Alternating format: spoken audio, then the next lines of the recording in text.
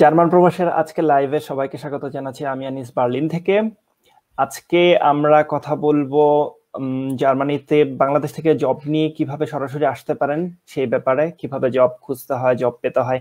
আর আজকে আমাদের সাথে আছেন খুবই, আমাদের খুবই পরিচিত একজন মুখ সুমন মোল্লা সেলিম ভাই, যিনি জার্মানিতে জব নিয়ে, সরাসরি জব নিয়ে বাংলাদেশ থেকে এসছেন।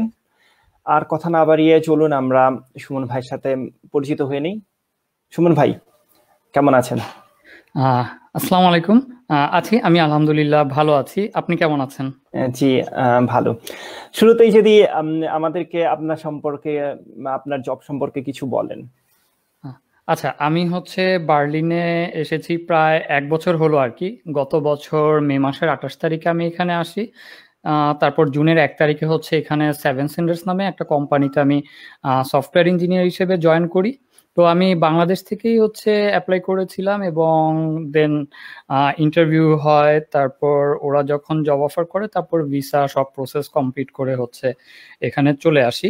আর বার্লিনে মুভ করার আগে আমি দেশে হচ্ছে প্রায় সাত আট বছর ধরে হচ্ছে সফটওয়্যার ইঞ্জিনিয়ার হিসেবে কাজ করতেছিলাম। তো দেশেরও কিছু হচ্ছে কোম্পানির সাথে আমার কাজ করা হয়েছে এই তো।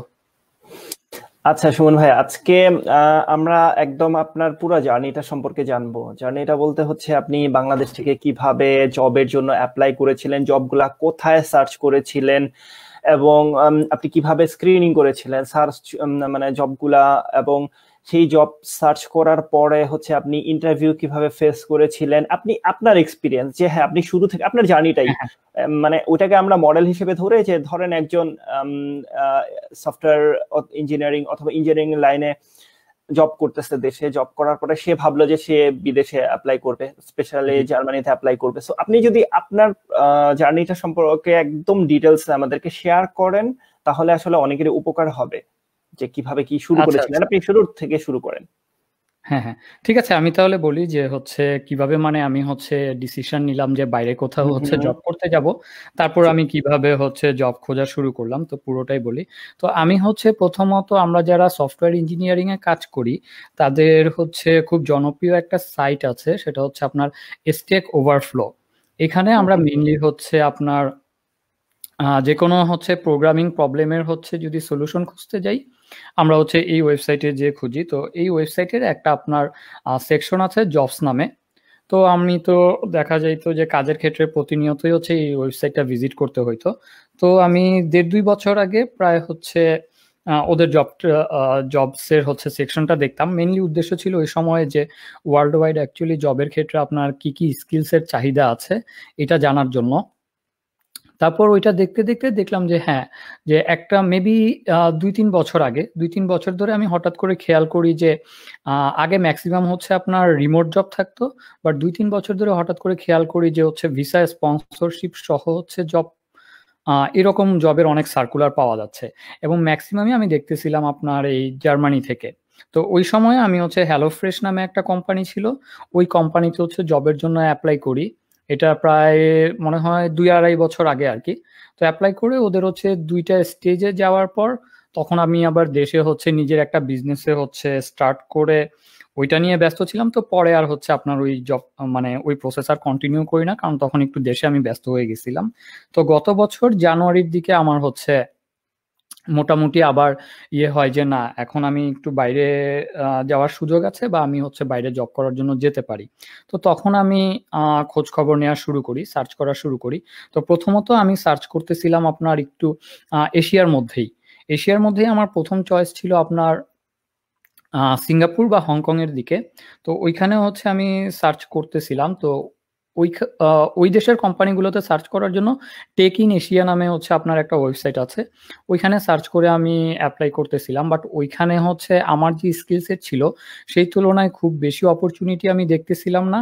আর ওইখানে ওরা যে ভিসা স্পন্সর করবে, এরকম অপরচুনিটিও খুব কম ছিল। দুই তিনটা কোম্পানিতে আমি অ্যাপ্লাই করছিলাম, দুইটাতে ইন্টারভিউ দিছিলাম বাট ওইখানে দেখলাম যে না, ওইখানে হচ্ছে না বা ওইটা মনে হচ্ছিল যে তুলনামূলকভাবে কম্পিটিটিভ বা ওরা বাইরে থেকে লোক নিয়ে যাওয়ার জন্য খুব একটা আগ্রহী না। তারপর আমি মালয়েশিয়াতে যাই, মালয়েশিয়াতেও একটা কোম্পানিতে ইন্টারভিউ দিয়ে আসি। আর ওই একই সময়ে আমি হচ্ছে জার্মানিরও কয়েকটা কোম্পানিতে হচ্ছে আপনার অ্যাপ্লাই করা শুরু করি। তো মেনলি আমি ওই স্টেক ওভারফ্লো জবসের যে সেকশনটা আছে, ওইখানে হচ্ছে আপনার বিভিন্ন ক্যাটাগরির বিভিন্ন রোলের জন্য জবের হচ্ছে সার্কুলার দেওয়া থাকে। তো ওইখান থেকে প্রথমে আমি খুঁজে বের করি যে কোন কোন জবগুলাতে যে মানে কোন কোন জবগুলার স্কিল আমার যে স্কিল সেট আছে বা আমার যে এক্সপিরিয়েন্স আছে, এটার সাথে ম্যাচ করে। দেন আমি ওইখানে হচ্ছে অ্যাপ্লাই করা শুরু করি। তো স্টেক ওভারফ্লো জবসে যে খুব বেশি অপরচুনিটি আছে, এরকম না। আমি প্রায় দশ পনেরোটার বেশি কোম্পানিতে হচ্ছে আপনার অ্যাপ্লাই করি। তারপর আমি দেখি যে হচ্ছে লিঙ্কটিনে ও হচ্ছে এরকম আপনার জবের অফার পাওয়া যায়। তো তারপর আমি যেটা করি লিঙ্কটিনের জবস সেকশনে যে আমি বার্লিন ভিসা স্পন্সরশিপ বা জার্মানি ভিসা স্পন্সরশিপ আর নেদারল্যান্ড ভিসা স্পন্সরশিপ এরকম কিওয়ার্ড দিয়ে হচ্ছে আপনার সার্চ করা শুরু করি। তো ওইখান থেকে আমি আরও অনেকগুলো কোম্পানি সার্কুলার পাই যে যারা হয়তো সফটওয়্যার ইঞ্জিনিয়ার হায়ার করতেছে। তো ওইখান থেকে আমিও আবার বিভিন্ন ক্যাটাগরির আছে। তো ওইখান থেকে আমি দেখি যে ফাইন্ড আউট করি যে আমার যে স্কিল সেট আছে এই রিলেটেড জব কি পরিমাণ আছে? তো ওইখান থেকেও আমি হচ্ছে অ্যাপ্লাই করা শুরু করি। তো আমার যতটুকু মনে পড়ে, আমি প্রায় তিরিশ চল্লিশটার মতো বেশি কোম্পানিতে হচ্ছে আপনার অ্যাপ্লাই করি। এবং এর মধ্য থেকে আপনার নয়টা না দশটা কোম্পানি থেকে আপনার ইন্টারভিউ ডাক পাই। দেন ইন্টারভিউ দেওয়া শুরু করি। আর এখানে আরেকটা ব্যাপার বলি ইন্টারভিউর জায়গাটাতে যাওয়ার আগে যে, আপনি যখন অ্যাপ্লাই করতেছেন, দুইটা জিনিস হচ্ছে প্রপারলি রেডি করে অ্যাপ্লাই করা জরুরি। একটা হচ্ছে আপনার সিভি বা রিজিউমি আর আরেকটা হচ্ছে আপনার কভার লেটার তো আমি যখন অ্যাপ্লাই করতেছিলাম ম্যাক্সিমাম হচ্ছে ডেজিগনেশনে অ্যাপ্লাই করার জন্য আমার সিবির পাশাপাশি আপনার কভার লেটারও সাবমিট করতে হইতো। এক এক কোম্পানির এক এক রকম হচ্ছে ভাবে কভার লেটার এক্সপেক্ট করতো। কেউ হয়তো বলতো যে আপনি এই রোলের জন্য নিজেকে কেন হচ্ছে যোগ্য মনে করেন? আপনার এক্সপেরিয়েন্স আর তারা যেই জিনিসগুলো খুঁজতেছে সেটার সাথে কীভাবে ম্যাচ করতেছে? এগুলোর ব্যাপারে হচ্ছে জানানোর জন্য। কিছু ক্ষেত্রে ওরা কিছু টেকনিক্যাল কোশ্চেন আস করতো, সেগুলোর হয়তো উত্তর দিতে হইতো। আর রিজুমির ব্যাপারটা খুবই গুরুত্বপূর্ণ। আমি ওই সময় যেটা ফলো করি যে গুগলে সার্চ করলে হয়তো পাওয়া যাবে যে ইউরোপাস সিভি ফরম্যাট বা ইউরোপাস রিজুমি স্যাম্পল নামে হচ্ছে ইউরোপাস একটা হচ্ছে স্যাম্পল আছে। ফরম্যাট আর কি সিভির আমি ওইটা ফলো করে ওইখানে সুন্দর মতো হচ্ছে আপনার আমার এক্সপেরিয়েন্স কি ছিল, কি কি নিয়ে আমি কাজ করছি, এগুলা অ্যাড করি। তো এখানে হচ্ছে একটা জিনিস হচ্ছে বলে রাখব যে সিভিতে আপনার ওই জবের রোলে অ্যাটেন্ড করার জন্য হচ্ছে যেই যে স্কিলগুলো ওরা চায়, সেগুলোই হচ্ছে সুন্দর মতো হচ্ছে আপনার হাইলাইট করতে হবে এবং আপনার কি কি স্কিল আছে। কোনো কোম্পানিতে কাজ করার সময় আপনি অ্যাকচুয়ালি কোম্পানিতে কি কি ভ্যালু অ্যাড করছেন, এগুলো অ্যাড করা জরুরি। যেমন আমি যদি একটু এক্সাম্পল দেই যে, আমি হয়তো চার, পাঁচটা ল্যাঙ্গুয়েজ জানি তো শুধু হচ্ছে এই চার পাঁচটা ল্যাঙ্গুয়েজ দিয়ে তারপর অন্যান্য আপনি আরও অনেক কিছু জানতে পারেন, এগুলো ডিরেক্টলি না লিখে বেটার হচ্ছে আপনার যেটাতে আপনার এক্সপিরিয়েন্স সবচেয়ে বেশি আছে, সেই স্কিলগুলো হাইলাইট করা আর সেকেন্ড হচ্ছে আপনি আগের যে কোম্পানিগুলোতে কাজ করছেন, সেই কোম্পানিগুলোতে আপনি শুধু যে কোন ডেজিগনেশনে ছিলেন, এগুলা উল্লেখ না করে বা আপনি কোন প্রোডাক্টে কাজ করছেন, এটা উল্লেখ করা না করে আপনি একটু ছোট ছোট পয়েন্ট করে যদি এক্স্যাক্টলি লিখে দেন যে আপনি কোন প্রোডাক্টটাতে কাজ করছেন এবং আপনার ওই কাজের ক্ষেত্রে হচ্ছে কোম্পানির কি ভ্যালু অ্যাড হয়েছে এটা যদি একটা এক্সাম্পল দেই, ধরেন আপনি সিম্পলি হয়তো লিখতে পারেন যে, আমি এক্স ওয়াইজেড কোম্পানিতে সফটওয়্যার ইঞ্জিনিয়ার হিসেবে ছিলাম, ওইখানে আমি একটা ই কমার্স হচ্ছে ম্যানেজমেন্ট সিস্টেমে কাজ করছি। এটা একটা ওয়ে হইতে পারে লেখার, যেটা মোস্ট অফ দ্য কেজেস আমিও আগে সিভিতে এইভাবে লিখতাম। বাট এইভাবে ডিরেক্টলি না লেখা আরেকটু সুন্দরভাবে এটা লেখা যায় যে আপনি ই কমার্স সিস্টেমে কাজ করছেন ফাইন বাট এক্স্যাক্টলি আপনি কি কাজ করছেন সেটা যদি একটু সুন্দর করে বলতে পারেন বা আপনি অ্যাকচুয়ালি ওই কোম্পানিতে কাজ করে কোনো কিছু ইমপ্রুভ করছেন কিনা। এমন হইতে পারে যে আপনি ওই ই কমার্স সিস্টেমটাতে কাজ করার সময় ওদের নতুন কোনো একটা ফিচার অ্যাড করছেন বা ধরেন যে আগে ওদের অর্ডার প্রসেসের যে প্রসেসটা ছিল সেটা ধরেন যে প্রসেস করতে এক মিনিট সময় লাগতো। আপনি ওইখানে কাজ করে ইমপ্রুভ করে সেটা হয়তো এক মিনিট থেকে হচ্ছে কমিয়ে তিরিশ চল্লিশ সেকেন্ডে নিয়ে আসছেন। তাহলে আপনি লিখতে পারেন যে হ্যাঁ আমি এই কোম্পানির এই সফটওয়্যারের এই মডিউলটাতে কাজ করছি এবং কাজ করে আমি হচ্ছে এখানে এই ইম্প্রুভমেন্টটা অ্যাড করছি। তাহলে যেটা সুবিধা হয় যে, ওরা এক্স্যাক্টলি বুঝতে পারে যে, আপনার কোন জায়গাটাতে স্কিল আছে, আপনি ওই কোম্পানিতে কি ভ্যালু অ্যাড করছেন। তখন ওদের জন্য হচ্ছে সিভি স্ক্রিনিং করাটা সহজ হয়। আর নইলে যদি আমি কমন হচ্ছে শুধু ডেজিগনেশন তারপর এই সিম্পল একটা সিস্টেমে কাজ করছি, এইভাবে দিয়ে রাখি, তাহলে কিন্তু ওদের ওই ইভালুয়েট করাটা হচ্ছে টাফ হয়ে যায় আপনাকে। তো সেই ক্ষেত্রে দেখা যায় যে ইন্টারভিউতে ডাক পাওয়াটা টাফ হয়ে যায়। আমার শুরুর দিকে এরকম হচ্ছিল যে আমি দশ পনেরোটা কোম্পানিতে অ্যাপ্লাই করতেছি, কিন্তু আমি কোনোটার থেকেই ডাক পাচ্ছি না। পরে আমি ইন্টারনেটে হচ্ছে সার্চ করে প্রথমত আমার লিঙ্কড প্রোফাইলে একটু অ্যাক্টিভ হলাম, ওইখানে লেটেস্ট ইনফরমেশনগুলো আপডেট করলাম। তারপর খুব পয়েন্ট আকারে হচ্ছে আমার রিজিউ রিজুমিটা আপডেট করলাম। তারপর আমি হচ্ছে আপনার ইন্টারভিউ দেওয়া শুরু করলাম। তো আট নয়টা কোম্পানি থেকে ইন্টারভিউ মানে আট নয়টা কোম্পানিতে ইন্টারভিউ দিই এবং এক এক কোম্পানিতে ইন্টারভিউ প্রসেস এক এক রকম। তো আমি যদি কমন হচ্ছে মানে ক্যাটাগরাইজ করি ম্যাক্সিমাম কোম্পানিতেই ফার্স্ট স্টেজে যেটা হয় আপনার হায়ারিং ম্যানেজার হ্যাঁ হায়ারিং ম্যানেজারের সাথে হচ্ছে আপনার একটা ইন্টারভিউ হয়। সেখানে কোনো টেকনিক্যাল কথাবার্তা হয় না। সেখানে হায়ারিং ম্যানেজার আপনার এক্সপেরিয়েন্স সে তো সিভি দেখে জানেই বাট আপনার মুখ থেকে হচ্ছে ফেস টু ফেস একটু শোনে।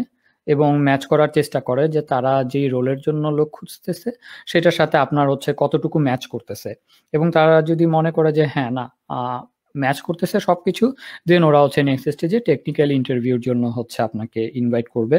তো টেকনিক্যাল ইন্টারভিউ শুরু হলে সেখানে হচ্ছে ম্যাক্সিমাম ক্ষেত্রেই যেটা হয় ফার্স্ট স্টেজে দুইটা ওয়েতে হইতে পারে। ফার্স্ট অফ অল আপনাকে হয়তো ওরা একটা কোডিং টেস্ট দিতে পারে। সেটা আপনার হ্যাকার র্যাঙ্ক তারপর অনলাইনের কোড ব্রাইট এরকম বিভিন্ন ওয়েবসাইট আছে। সেখানে হয়তো দিল যে অনলাইনে একটা কোডিং টেস্ট আপনার এক ঘণ্টা বা থার্টি মিনিটস এরকম সময় থাকবে। এটার মধ্যে ওদের যে প্রবলেমগুলো আছে, সেগুলোর সলিউশন আপনার করতে হবে। আর সেকেন্ড আরেকটা হইতে পারে যে ডিরেক্টলি আপনার ওদের কোনো একটা হচ্ছে ইঞ্জিনিয়ারের সাথে লাইভই হচ্ছে টেকনিক্যাল ইন্টারভিউ হইতে পারে।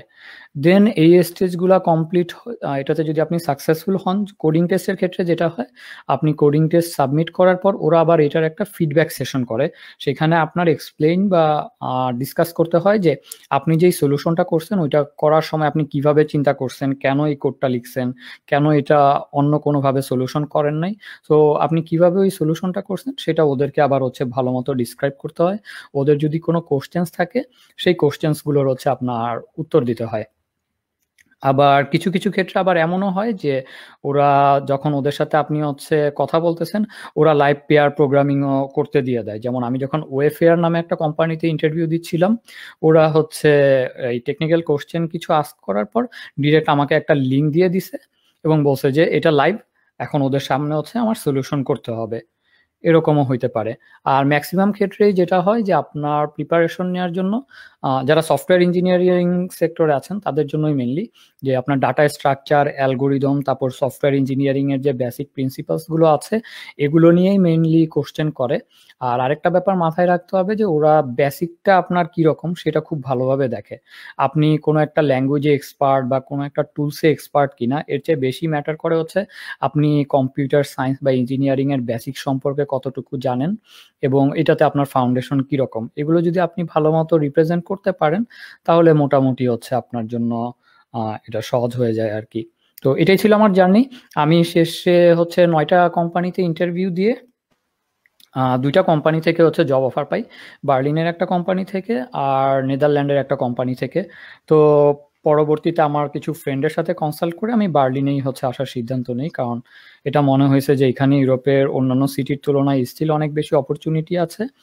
সেকেন্ড হচ্ছে যে আমার আরও কিছু ফ্রেন্ড ছিল, পরিচিত মানুষজন ছিল, যার জন্য মনে হয়েছে যে না, বার্লিনেই হচ্ছে মুভ করাটা আমার জন্য সহজ হবে এবং বেশি লজিক্যাল হবে আর কি অনেক ধন্যবাদ, সুমন ভাই, চমৎকার আপনি আমাদেরকে এক্সপ্লেন করেছেন। এখন একটা প্রশ্ন হচ্ছে যে এটা যে আপনি জব পাওয়ার পরে কনফার্মেশন পাওয়ার পরে আপনার এখানে আসার ক্ষেত্রে আপনার কোম্পানি থেকে কি ধরনের সাপোর্ট পেয়েছিলেন? অথবা আপনার ভিসা এক্সপিরিয়েন্স বাংলাদেশে এমবিসি ব্যাপারটা কীভাবে? আপনি যখন আসছেন তখনও এতটা প্রচলিত ছিল না। তখন আসলে আপনার ভিসার ব্যাপারটা বা ওই যে ওই সাপোর্টটা এখানে বাসা ম্যানেজ করা এই ধরনের সাপোর্ট হ্যাঁ, হ্যাঁ। যে ওই সাপোর্টগুলো আপনার কোম্পানি থেকে আপনি কি ধরনের সাপোর্ট পেয়েছিলেন? অথবা ওই বাংলাদেশ এমবিসিতে যে ভিসার সিস্টেমটা ছিল ওইটা কীরকম ছিল? আচ্ছা ম্যাক্সিমাম কোম্পানিগুলো যেগুলো আপনার এই বাইরে থেকে হচ্ছে লোক হায়ার করে নিয়ে আসে, ওদের হচ্ছে ভিসা স্পন্সরশিপের পাশাপাশি ওরা আরেকটা হচ্ছে আপনার জিনিস উল্লেখ করে দেয় যে রিলোকেশন সাপোর্ট সেখানে ম্যাক্সিমাম কোম্পানিরই যেটা থাকে যে ওরা একটা বাজেট রাখে যে আপনি যে নতুন একটা দেশ মানে আপনার দেশ থেকে এই নতুন আরেকটা ইনভায়রনমেন্টে এসে সেটেল হবেন। এটার জন্য এক এক কোম্পানি এক এক রকম হচ্ছে ফ্যাসিলিটিস প্রোভাইড করে। তো কিছু কিছু কোম্পানি আছে যে ভিসা প্রসেস থেকে শুরু করে ওইসব জায়গায় যদি কোনো ধরনের সাপোর্ট লাগে ওদের এইচআর থেকে সাপোর্ট দেয়। আর কিছু কিছু কোম্পানি হচ্ছে আপনার বাসা ভাড়ার জন্য হচ্ছে সাহায্য করে মানে ওরাই খুঁজে দেয় এবং ওদের এজেন্সির সাথে পার্টনারশিপ থাকে, সেখানে সাহায্য করে। আর আরেকটা জিনিস যেটা থাকে, ওদের একটা বাজেট থাকে যে আপনি যখন ফার্স্ট হচ্ছে আসতেছেন, যে হ্যাঁ প্রথম দুই মাসের যে হচ্ছে ভাড়াটা হয়, সেটা হচ্ছে ওরা আপনাকে দিয়ে দিবে। বা আপনার যে আসার যে ফ্লাইটের কস্টটা আছে, সেটা ওরা হচ্ছে রিইম্বার্স করে দিবে। তো আমার ক্ষেত্রে যেটা হয়েছিল, আমার কোম্পানি আমাকে বলে দিছিল যে আমার যে আসার ফ্লাইটের কস্ট আছে, সেটা আমি আসার পরে ওইটা হচ্ছে ওরা আমাকে রিইম্বার্স করে দিবে। তো আমি এখানে আসার পর আমার টিকিটের ইনভয়েসটা ওদের কাছে সাবমিট করছি, ওরা আমাকে টাকাটা দিয়ে দিছে। আর সেকেন্ড হচ্ছে বাসা খোঁজার জন্য আমার কোম্পানি আমাকে বলে দিছিল যে প্রথম দুই মাসের জন্য প্রতি মাসে এক হাজার ইউরো করে মানে দুই হাজার ইউরো আমাকে একটা বাজেট দিয়ে দিছিল যে এই বাজেটটা আমরা কভার করব। তুমি চাইলে এই বাজেটের মধ্যে বাসা খুঁজে আমাদেরকে জানাইতে পারো যে তোমার যদি কোনো হচ্ছে মানে এই রেফারেন্স থাকে। আর যদি তুমি চাও, তাহলে আমাদের হচ্ছে এরকম এজেন্সি আছে, সে তার মাধ্যমে আমরাও হচ্ছে ঠিক করে দিতে পারি। তো আমি যেটা করছিলাম, আমি হচ্ছে অনলাইনে সার্চ করে কিছু ওয়েবসাইট আছে। ওইখান থেকে আমি ইউজ করছিলাম হচ্ছে আপনার স্পটে হোম নামে একটা সার্ভিস আছে। ওদের সার্ভিসটা ব্যবহার করে আমি ওইখানে হচ্ছে দেখতেছিলাম যে আমার পছন্দ মতো বাসা কোথায় আসছে সেটা আমি হচ্ছে খুঁজে বের করে ওইখানে আবার রেজিস্ট্রেশন করে বুক করার জন্য আবার টাকা পে করতে হয়। তো আমি যেহেতু নিজে হচ্ছে ওইটা করব না, আমি ওই লিঙ্কটা আমার এইচআরকে শেয়ার করে বলছিলাম যে, এই বাসাটা হচ্ছে আমার পছন্দ হয়েছে তুমি যদি যেহেতু জার্মানিতে আছো এবং তোমরা পে করবা, তোমরা এটা আমার হয়ে প্রসেস করে দাও। পরে আমার এইচআর হচ্ছে ওই ল্যান্ডলর্ডের সাথে যোগাযোগ করে, সে হচ্ছে পুরো অ্যাগ্রিমেন্টটা কমপ্লিট করে দিছিল। আমি জাস্ট যেদিন হচ্ছে এখানে আসার, এসে হচ্ছে ওই ল্যান্ডলর্ডের সাথে যোগাযোগ করে হচ্ছে বাসায় উঠে গেছি। আর আরেকটা ব্যাপার হচ্ছে আপনার ভিসার জন্য অ্যাপ্লাই করার জন্য কিছু ডকুমেন্টস লাগে। ফার্স্ট অফ অল যেই জিনিসটা লাগে সেটা হচ্ছে আপনি যে কোম্পানিতে জবটা নিয়ে যাচ্ছেন, তারা শুরু ওই ফার্স্ট অফ অল লিগাল কারণেই তারা প্রথমত তাদের সাথে আপনার একটা লিগাল হচ্ছে অ্যাগ্রিমেন্ট হবে। সেই অ্যাগ্রিমেন্টের কপিটাই এনাফ আর কিছু কিছু ক্ষেত্রে যেটা হয় কোম্পানি যে আপনাকে এখানে আসার পর থাকার জন্য হচ্ছে রিলোকেশন অ্যাসিস্ট্যান্স করতেছে, সেটার একটা ডকুমেন্ট দিয়ে দেয়। তো আমার ক্ষেত্রে হচ্ছে এই দুইটা ডকুমেন্টই লাগছিল ভিসাতে অ্যাপ্লাই করার জন্য। আর যেহেতু আমি এখানে হচ্ছে মানে জব নিয়ে আসতেছিলাম, অন্যান্য আর তেমন কোনো ডকুমেন্টস আমার লাগে নাই। কারণ ওই আপনি স্টুডেন্ট ভিসায় আসবেন না, কোন বিষয়ে আসতেছেন, তার উপর নির্ভর করে হচ্ছে আবার অনেক এক্সট্রা ডকুমেন্টস লাগে লাইক ব্যাংক স্টেটমেন্ট এইসব এখন আমি যেহেতু এখানে জব নিয়ে আসতেছি, আমার ক্ষেত্রে ব্যাংক স্টেটমেন্টস বা অন্যান্য তেমন কোনো ডকুমেন্টই হচ্ছে সাবমিট করতে হয় নাই। আর হ্যাঁ কিছু কিছু জিনিস হচ্ছে এম্বাসি থেকে আমাকে বলছিল ফার্স্ট অফ অল হচ্ছে আমার এডুকেশনাল সার্টিফিকেটগুলো এটা লাগে এই জন্য যে আপনি যে জবের জন্য বা যা যেই ডেজিগনেশনের জন্য আসতেছেন ওরা একটু দেখার চেষ্টা করে যে এই ডেজিগনেশনের সাথে আপনার যে এডুকেশনাল ব্যাকগ্রাউন্ড আছে সেটা ম্যাচ করে কিনা। তো আমি হচ্ছে আমার জাস্ট হচ্ছে ব্যাচেলার্স আমার কম্পিউটার সায়েন্সে করা। আমি আমার ব্যাচেলার্সের কম্পিউটার সায়েন্সের যে হচ্ছে সার্টিফিকেট ছিল, সেটা সাথে করে নিয়ে গেছিলাম। আর সেকেন্ড হচ্ছে যেই জিনিসটা নিয়ে গেছিলাম, সেটা হচ্ছে যে ওরা বলছিল যে আপনি যে প্রিভিয়াস হচ্ছে আপনার জবের এক্সপিরিয়েন্স আছে, যদি পসিবল হয় সেই সব কোম্পানি থেকে সার্টিফিকেট হচ্ছে নিয়ে যাইতে।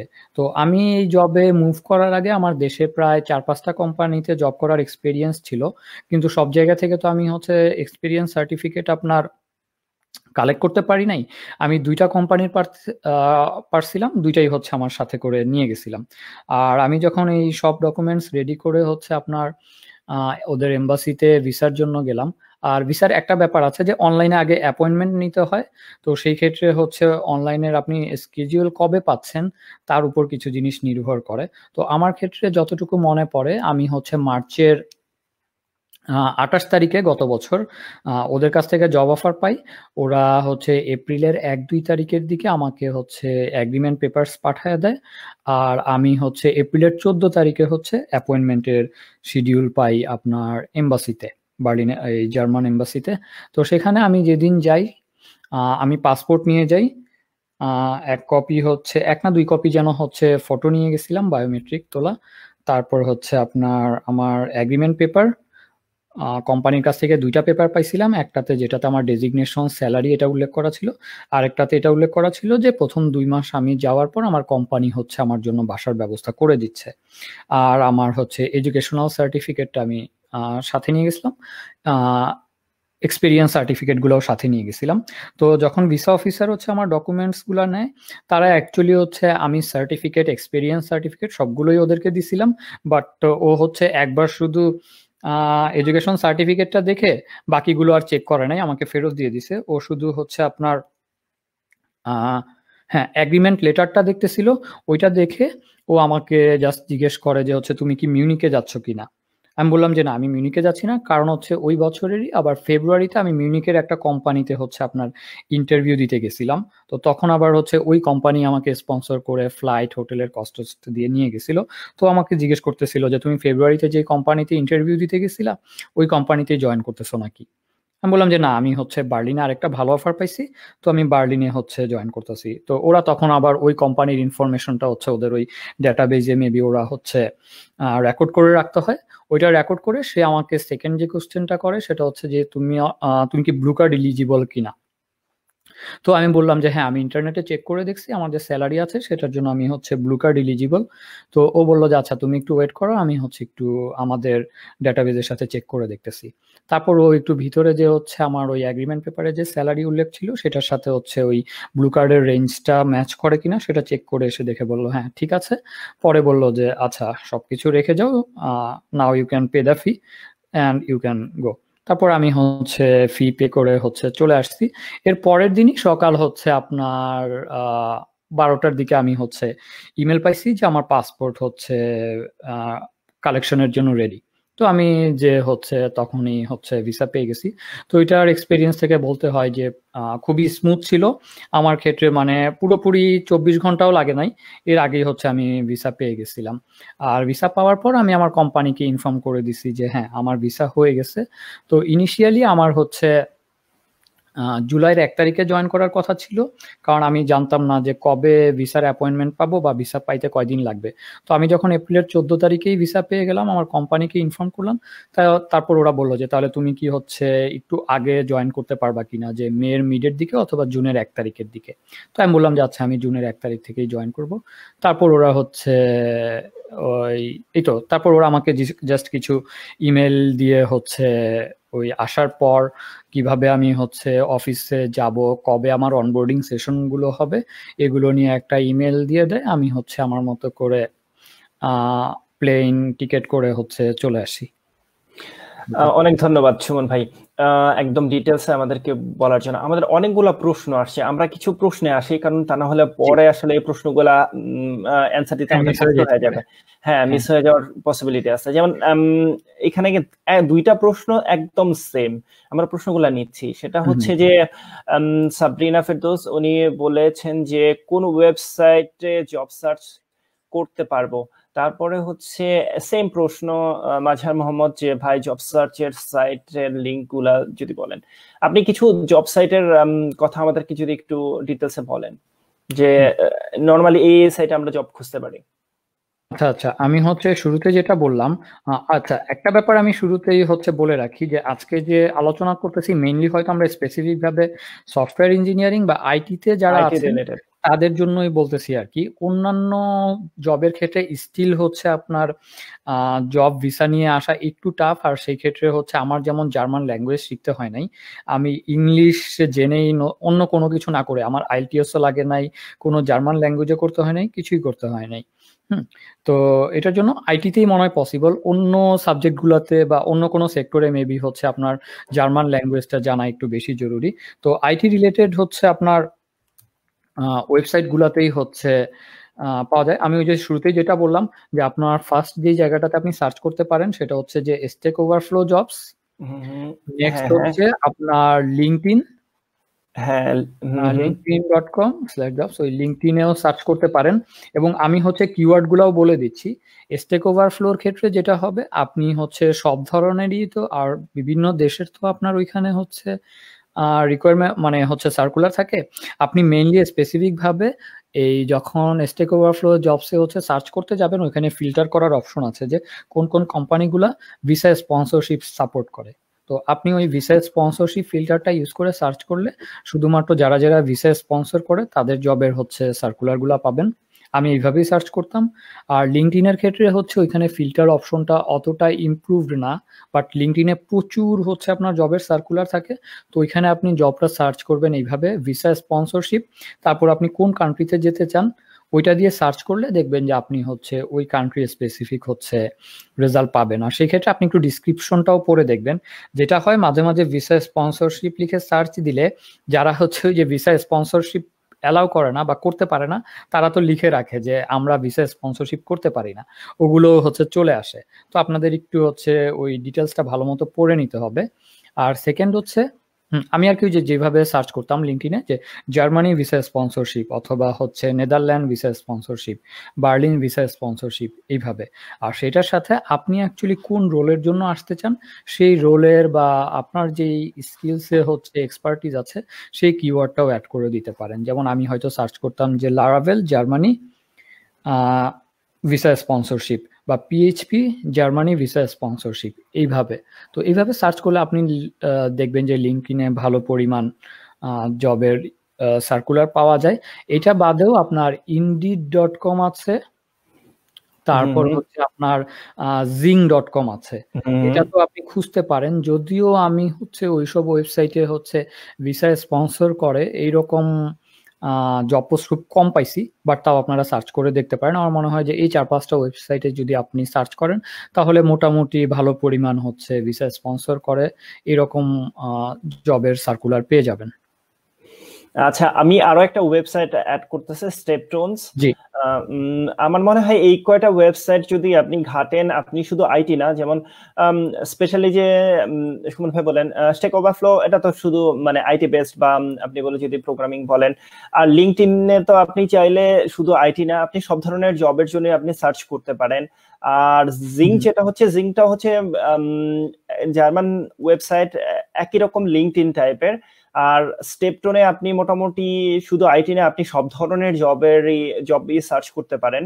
আর ইন্ডিট যেটা বললাম এখানে ইন্ডিটে একটা দেখার বিষয় আছে যে শুধু ইন্ডিট দিলে ওইটা ইন্টারন্যাশনালি দেখায়। আর হচ্ছে আপনি যদি সাথে ডি অ্যাড করে দেন শুরুতে তাহলে আসলে এটা শুধু জার্মান সাইটটা চলে আসে। সো মোটামুটি আমরা এখানে যে পাঁচটা ওয়েবসাইটের কথা বললাম আপনারা একটু হোমওয়ার্ক করলে বা একটু সার্চ করলে মানে আপনারা আপনাদের সেই কাঙ্ক্ষিত জবের সার্কুলেশনগুলো পেয়ে যাবেন আশা করি। আমরা স্টেপ বাই স্টেপ সবকটা ওয়েবসাইটের অ্যাড্রেসে দিয়ে দিচ্ছি আমরা কমেন্টসও দিয়ে দিব সামনে। হ্যাঁ? সো এই গেল হচ্ছে আমাদের মানে জব কোথায় খুঁজবো সেটা নিয়ে একটা প্রশ্ন। তারপরে আসি হচ্ছে যে আমরা অন্য একটা প্রশ্নে আসি। সেটা হচ্ছে খায়রুল উনি উনি লিখেছেন যে how much chance does a non CS undergraduate have for a সব software development position in Germany Suman ভাই, আপনি যদি বলেন, যেহেতু এটা স্পেসিফিক সফটওয়্যার ডেভেলপমেন্ট নিয়ে আসছে। আচ্ছা এটাতে আমি বলব যে পসিবল কারণ আমার পরিচিত অনেকেই হচ্ছে নন সিএসি মানে ব্যাকগ্রাউন্ড থেকে হচ্ছে এখানে আসছে। কিছুদিন আগে আগেই হচ্ছে বাংলাদেশের একজন ডাক্তার তিনি হচ্ছে এখানে এই কম্পিউটার সায়েন্স ইঞ্জিনিয়ার বা সফটওয়্যার ইঞ্জিনিয়ার হিসেবে এখানে এসে জয়েন করছে। তারপর আমার নিজের কোম্পানির কথাই যদি বলি, আমার যে ইঞ্জিনিয়ারিং লিড আছে, ও ইরান থেকে আসছে। তো ও ওইখানে হচ্ছে ওদের দেশে যে গ্র্যাজুয়েশন শেষ করছে, সেটা আবার জার্মানির হচ্ছে সিএসসি গ্র্যাজুয়েশনের যে সেটার হচ্ছে যে ওরা ইয়ে করে না যে ওইটাকে রিকগনাইজ করে না বাট ও হচ্ছে কিন্তু চলে আসতে পারছে। এখানে হচ্ছে যদি আপনি সিএসসি গ্র্যাজুয়েট হন অবশ্যই আপনার জন্য হচ্ছে তুলনামূলকভাবে চান্স বেড়ে যাচ্ছে। কারণ হচ্ছে আপনি যদি সিএসসি গ্র্যাজুয়েশন জানা থাকে তার মানে অবশ্যই আপনি হচ্ছে অন্যান্য আরও অনেক ক্যান্ডিডেট যারা হয়তো সিএসসিতে পড়াশোনা করে নাই তাদের থেকে আপনার নলেজ হচ্ছে বেশি হওয়াটা স্বাভাবিক। সেকেন্ড হচ্ছে এই লটা যে করা হয়েছে যে চাইলে জার্মানি প্রয়োজন পড়লে বাইরে থেকে হচ্ছে আপনার লোক নিয়ে আসতে পারবে। তো এটা হচ্ছে আরেকটু আমি ডিটেলস শেয়ার করি যে পৃথিবীর যে কোনো দেশেই তারা হচ্ছে কেন বাইরে থেকে লোক নিবে?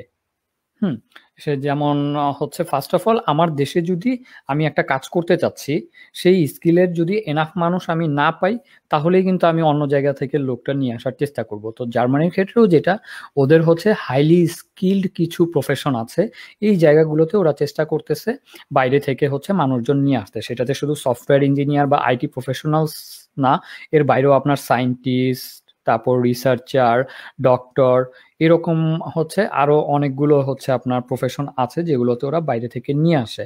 তো আপনি যখন এই রোলগুলোতে আসতে চাইবেন, তুলনামূলকভাবে এখানে অনেক কম্পিটিশন বিভিন্ন দেশের মানুষজন হচ্ছে এখানে অ্যাপ্লাই করতেছে, তাদের বিভিন্ন ধরনের এক্সপিরিয়েন্স আছে। তো এইসব মানুষজনের সাথে আপনি যখন কম্পিটিশন করবেন, অবশ্যই আপনার হচ্ছে যে বেটার কোনো কিছু থাকতে হবে। সো আপনার যদি সিএসসি ব্যাকগ্রাউন্ড e থাকে, এটা আপনার ফার্স্ট হচ্ছে একটা প্লাস পয়েন্ট সেকেন্ড হচ্ছে বাকি সব কিছুই আপনার প্রুফ করতে হবে, আপনার এক্সপেরিয়েন্স দিয়ে আপনার পোর্টফোলিও দিয়ে এবং যখন তারা ইন্টারভিউ নিবে, আপনি কীভাবে তাদেরকে নিজের স্কিলস বা এক্সপেরিয়েন্সটা তাদের কাছে রিপ্রেজেন্ট করতে পারতেছেন, তার উপর। আর এইসব হয়ে যাওয়ার পর সেকেন্ড যে ব্যাপারটা আসে সেটা হচ্ছে এম্বাসি এখন কোম্পানি যেহেতু আপনাকে হায়ার করতেছে, তার মানে কোম্পানি কনফার্ম যে এই দেশে যে স্কিলের লোকটা নাই, সেটা আপনাকে দিয়ে ওরা হচ্ছে কভার আপ করতে পারতেছে। তো এম্বাসিও হচ্ছে সেম জিনিসটাই চায় যে আপনি যে ওই দেশে যাচ্ছেন রিয়েলি আপনি হচ্ছে ওই রোলটার জন্য ক্যাপেবল কিনা, সেটার জন্য ওরা ওই যে চেক করে দেখে যে আপনি যেই ডেজিগনেশনে যেতে চাচ্ছেন, সেটার সাথে আপনার এডুকেশনাল ব্যাকগ্রাউন্ডটা মিলতেছে কিনা। বাট কিছু কিছু ক্ষেত্রে দেখা যাইতে পারে যে আপনি হয়তো এক্সেপশনাল কাজ করছেন, আপনার পোর্টফোলিও অনেক ভালো। আপনি দেখাইতে পারেন যে হ্যাঁ আমি ডাক্তার কিন্তু ডাক্তার হইলেও আমি এই যে চার পাঁচ বছর ধরে হচ্ছে এই ইন্ডাস্ট্রিতে কাজ করতেছি। এই যে আমার প্রিভিয়াস জব এক্সপিরিয়েন্স এই যে আমার পোর্টফোলিও সো আমি অ্যাকচুয়ালি এই প্রফেশনে কাজ করার জন্য রেডি আমার এডুকেশনাল ব্যাকগ্রাউন্ডটা হচ্ছে খুব একটা ইম্প্যাক্ট এখানে ফেলে নাই। তো আপনি যদি এইভাবে কোম্পানিকেও হচ্ছে কনভিন্স করতে পারেন এবং এম্বাসিকেও কনভিন্স করতে পারেন, তাহলে অ্যাকচুয়ালি আমি এটা প্রবলেম দেখি না। এনাফ অপরচুনিটি আছে বাট তারপরও বারবার ওইটাই বলব যে আপনার কিন্তু তখন একজন যে সিএসসি তে পড়তেছে তার সাথে হচ্ছে কম্পিট করতে হচ্ছে। তো সেই ক্ষেত্রে আপনাকে কিন্তু নিজেকে ওইভাবে প্রস্তুত করতে হবে হার্ডওয়ার্ক করতে হবে এবং সেই অনুযায়ী কিন্তু আপনাকে হচ্ছে স্কিল অর্জন করতে হবে। অনেক সুন্দর অনেক ধন্যবাদ। অনেক সুন্দরভাবে আপনি গুছিয়ে ব্যাপারটা আমাদেরকে বুঝিয়ে দিয়েছেন। এখানে নেক্সট প্রশ্ন একটা প্রশ্ন আসছে। আমার মনে হয় এই প্রশ্নের অ্যান্সার আমরা অলরেডি পেয়ে গেছি যে উনি রিসার্চার হিসেবে কাজ করতেছেন ওনার এক্সপিরিয়েন্সের কথাও বলেছেন এখন উনি বলতেছেন যে উনি কি অ্যাপ্লাই করতে পারবেন কিনা। সো আপনি আমরা আমরা মনে হয় যে আপনার এসে আগের প্রশ্নের অ্যান্সারেই আমরা এই ওনার প্রশ্নের অ্যান্সার পেয়ে গেছি। আপনি যে জব খুঁজে পান আপনি জব করেন খুঁজে বের করে আপনি অ্যাপ্লাই করেন ট্রাই করেন। ট্রাই করতে তো প্রবলেম নেই তাই না? আচ্ছা হ্যাঁ। সুমন ভাই আমরা পরের প্রশ্নে যাচ্ছি। সেটা হচ্ছে যে দেশ উনি প্রশ্ন করেছেন যে দেশ থেকে ব্যাচেলর করে দুই এক বছর জব এক্সপিরিয়েন্স নেয় জার্মানিতে গেলে কি মাস্টার্স এর পর জব পেতে হেল্প করবে? জার্মান কোম্পানিগুলো কি বাংলাদেশের ব্যাচেলরের পর এক্সপিরিয়েন্স কে গুরুত্ব দেয়? নাকি ব্যাচেলরের পর ডিরেক্ট মাস্টার্স এর জন্য চলে যাওয়া ভালো হবে? সুমন ভাই আপনি যদি আপনার এক্সপিরিয়েন্স থেকে বলেন। আচ্ছা ওকে। এখানে কয়েকটা জিনিস ম্যাটার করে। ফার্স্ট অফ অল হচ্ছে যদি আমি আমাদের দেশের হচ্ছে একেবারে জেনারেল সেন্সে চিন্তা করি, যে ব্যাচেলার যেই ছেলেটা আমাদের দেশে শেষ করতেছে, তুলনামূলকভাবে তার হচ্ছে ইন্ডাস্ট্রির ওয়ার্ক এক্সপেরিয়েন্স হচ্ছে খুব একটা বেশি থাকে না এবং ব্যাচেলার শেষ করছে, এরকম কোনো একটা মানুষের হচ্ছে আমাদের দেশে যে খুবই হাইলি স্কিল্ড এরকম পাওয়া খুব টাফ হুম এরকম পাইলে আমার মনে হয় যে দেশেই তার জবের হচ্ছে অভাব থাকার কথা না। সেকেন্ড হচ্ছে আমরা আমাদের দেশে যেই ইনভায়রনমেন্টে যেই কালচারে কাজ করি এবং যত বছর কাজ করি সেটার ইকুইভ্যালেন্ট কিন্তু সেম এক্সপেরিয়েন্স হচ্ছে আপনি জার্মানিতে পাবেন না বা দুইটার ভ্যালু সেম না।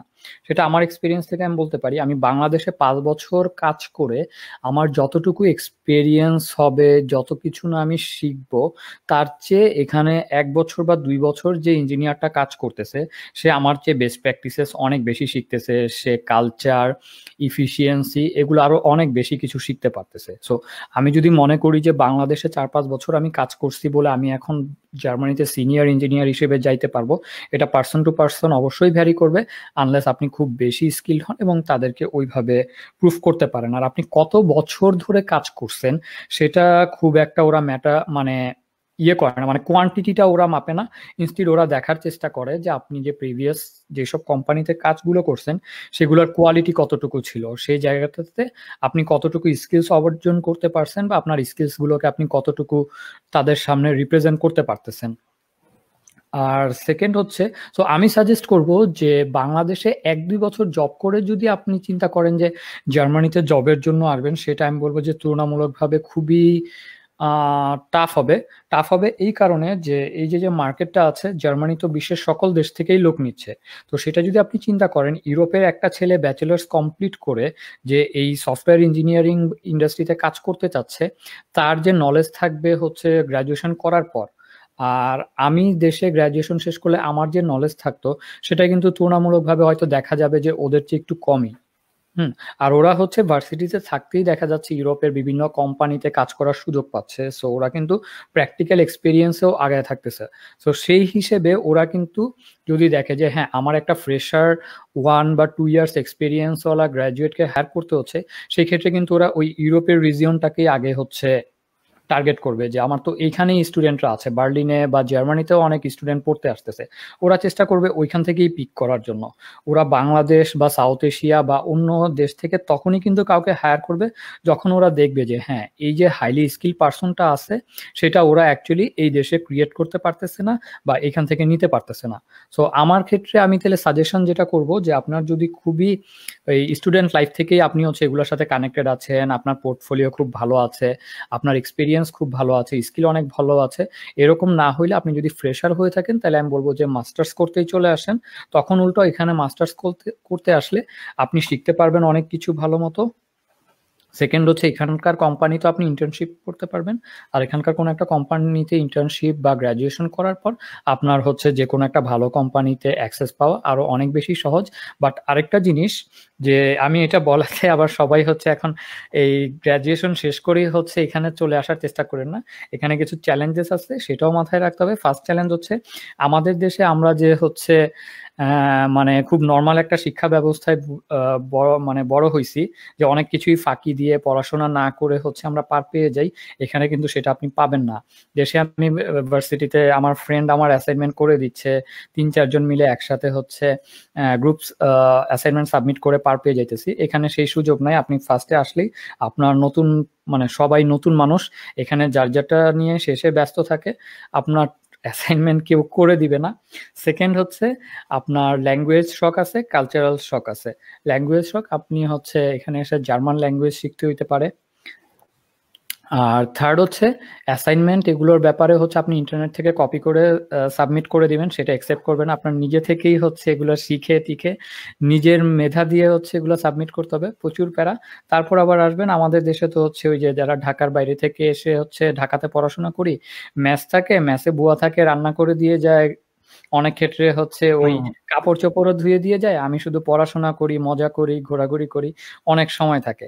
বাট এখানে যখন আসবেন কারও কাজ কেউ করে না এখানে যার যার কাজ শেষে করতে হয় আপনার বাসায় নিজে উঠতে হবে কাপড় চোপড় নিজে ধুইতে হবে। তারপর হচ্ছে আপনার রান্না বান্না করতে হবে। তো এত যে পরিশ্রম করতে হবে এগুলোর যদি করতে পারবেন আপনি এবং এগুলো হচ্ছে মেনে নিজের পড়াশোনাটাও ঠিকভাবে চালাইতে পারবেন স্কিল ডেভেলপমেন্ট করতে পারবেন। এত কিছু যদি মনে হয় যে আপনার দ্বারা করা সম্ভব তাহলেই আসেন। আর নইলে আমি বলব যে হচ্ছে শুধু শুধু এসে হচ্ছে আপনার সময় ওয়েস্ট হবে মানিও ওয়েস্ট হবে। ওকে অনেক ধন্যবাদ। আচ্ছা আমরা একটা নেক্সট প্রশ্নে যাই হ্যাঁ? যেটা হচ্ছে, এটার অলরেডি অ্যান্সার আমরা পেয়ে গেছি আপনার আগের ডিসকাশনে সেটা হচ্ছে যে my question is what if someone from Bangladesh want to start their career in Germany after graduation গ্রাজুয়েশনের পরে যদি কেউ তাদের কেরিয়ার শুরু করতে চায়।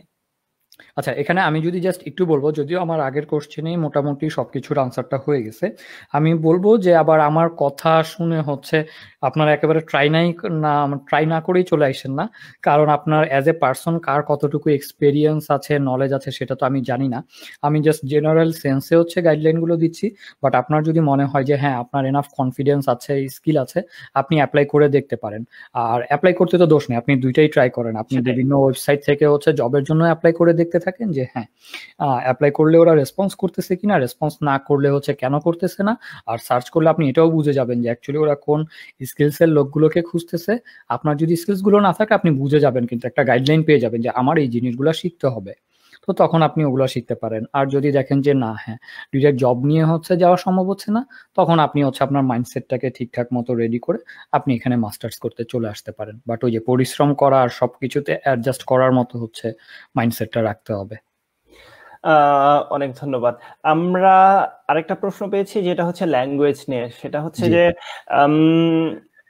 does German language course need for job এই প্রশ্নের অ্যান্সার আপনি কীভাবে দিবেন? বা অথবা অথবা ইংরেজি সার্টিফিকেট আপনি অলরেডি বলেছেন, তারপরও আপনি আরেকটু যদি এক্সপ্লেন করেন। হুম, হুম। আচ্ছা এখন পর্যন্ত হচ্ছে আমি যতটুকু দেখছি আপনি যদি এই সফটওয়্যার ইঞ্জিনিয়ার হিসেবে এখানকার কোনো একটা কোম্পানিতে জব অফার পেয়ে আসেন তাহলে আপনার হচ্ছে জার্মান ল্যাঙ্গুয়েজও লাগবে না। ইভেন ইংলিশের যে আইএলটিএস এর হচ্ছে একটা টেস্ট অনেক ক্ষেত্রে যে স্টুডেন্টের দিতে হয় সেটাও লাগবে না। এখানে পুরো ব্যাপারটাই নির্ভর করতেছে। কারণ ওরা যখন আপনার ইন্টারভিউ নিচ্ছে সেই সময়ে কিন্তু ওরা আপনার স্কিলস এর পাশাপাশি আরও দুইটা জিনিস খুব ভালো মতো দেখে। অনেক ক্ষেত্রে এটাও হইতে পারে যে আপনি খুবই হাইলি স্কিল ওদেরকে স্কিল দিয়ে ইমপ্রেস করে দিচ্ছেন। বাট তাও আপনাকে ওরা হায়ার করে নাই।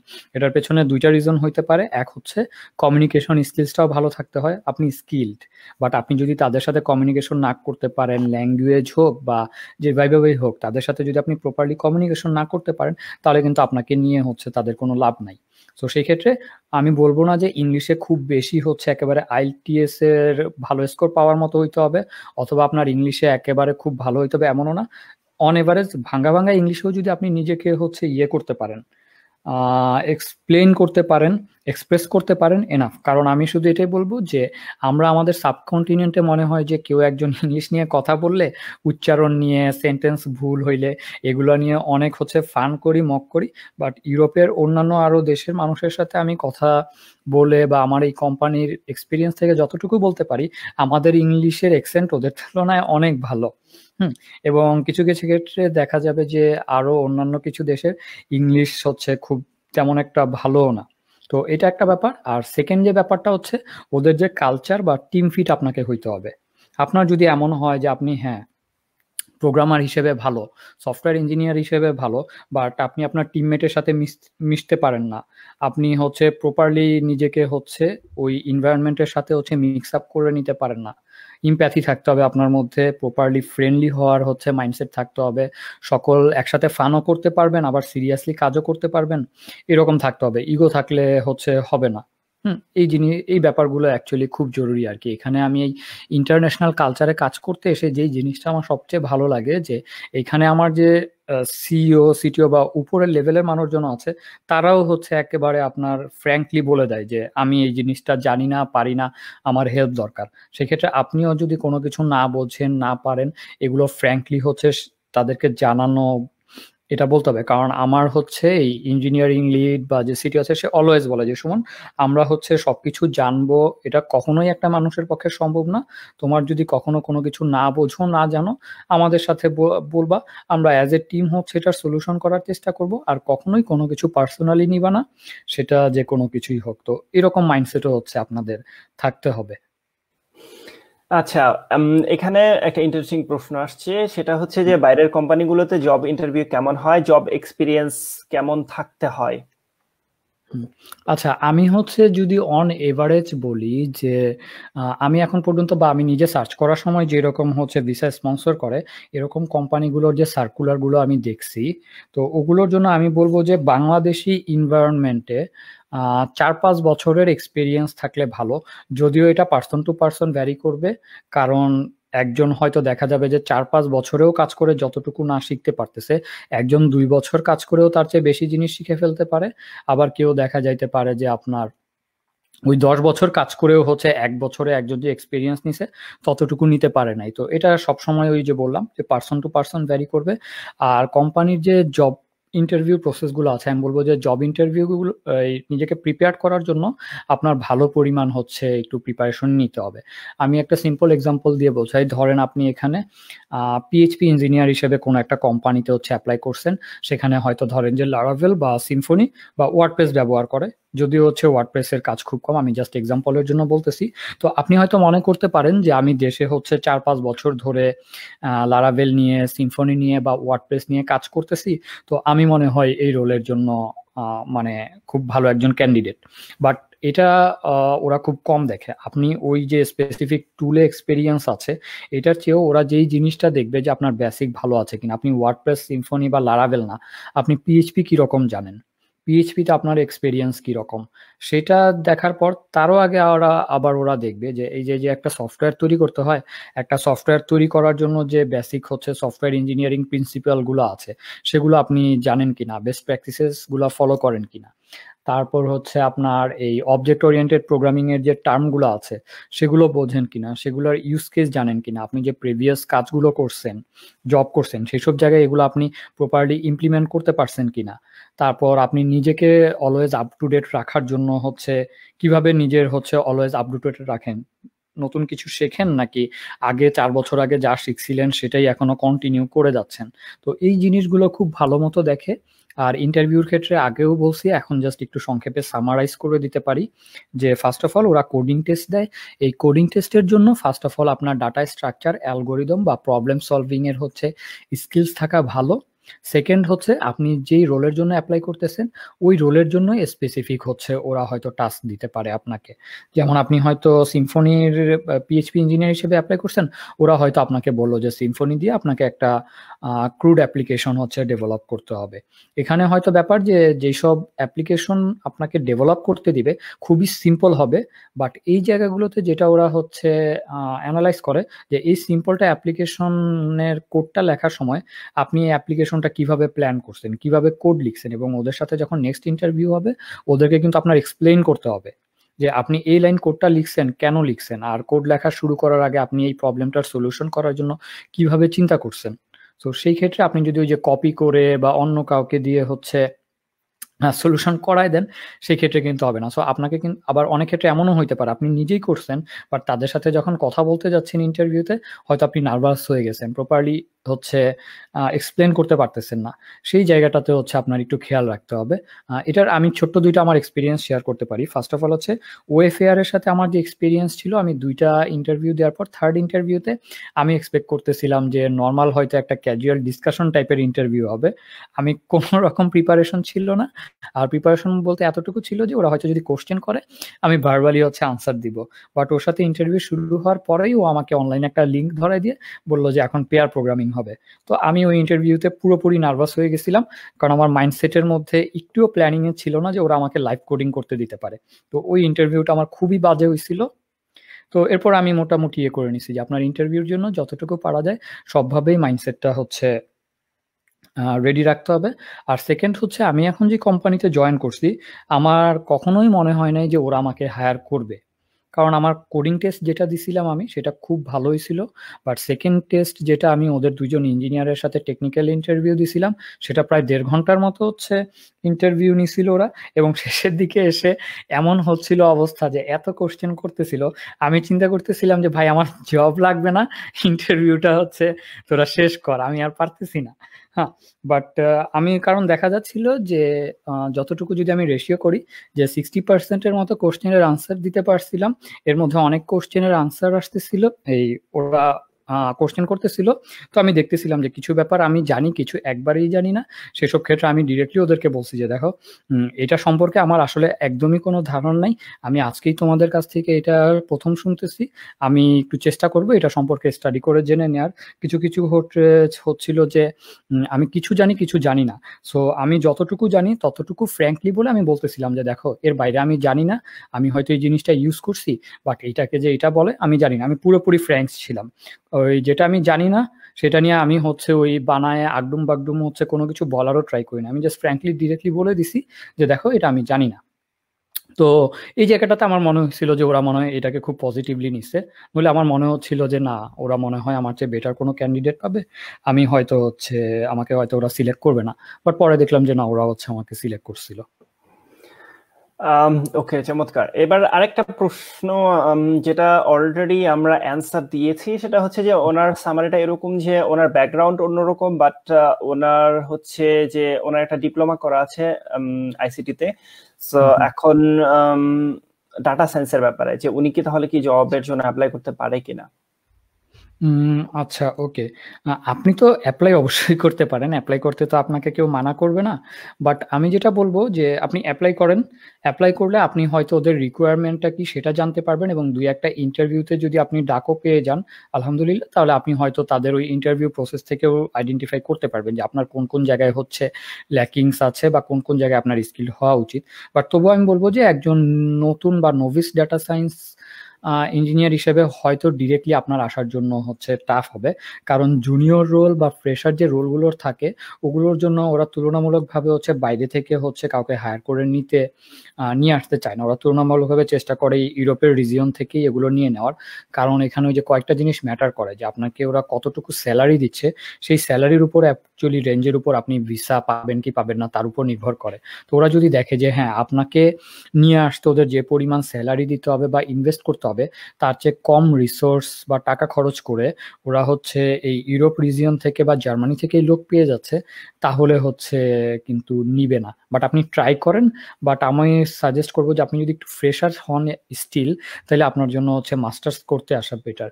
আর আরেকটা ব্যাপার একটু হিন্ট দিয়ে রাখি যে জার্মানিতে কিন্তু এখন তুলনামূলকভাবে গত ৩-৪ বছরে অনেক বেশি স্টুডেন্ট আসতেছে। সেটা একদিয়ে একদিক দিয়ে পজিটিভ ব্যাপার যে স্টুডেন্ট যারা আসতেছে তারা এখানে এসে পড়াশোনা করে অপরচুনিটি এক্সপ্লোর করতে পারতেছে। বাট আবার যারা ডিরেক্টলি হচ্ছে জব নিয়ে আসতে চায় তাদের জন্য কিন্তু তখন আবার একটু টাফ হয়ে যাচ্ছে।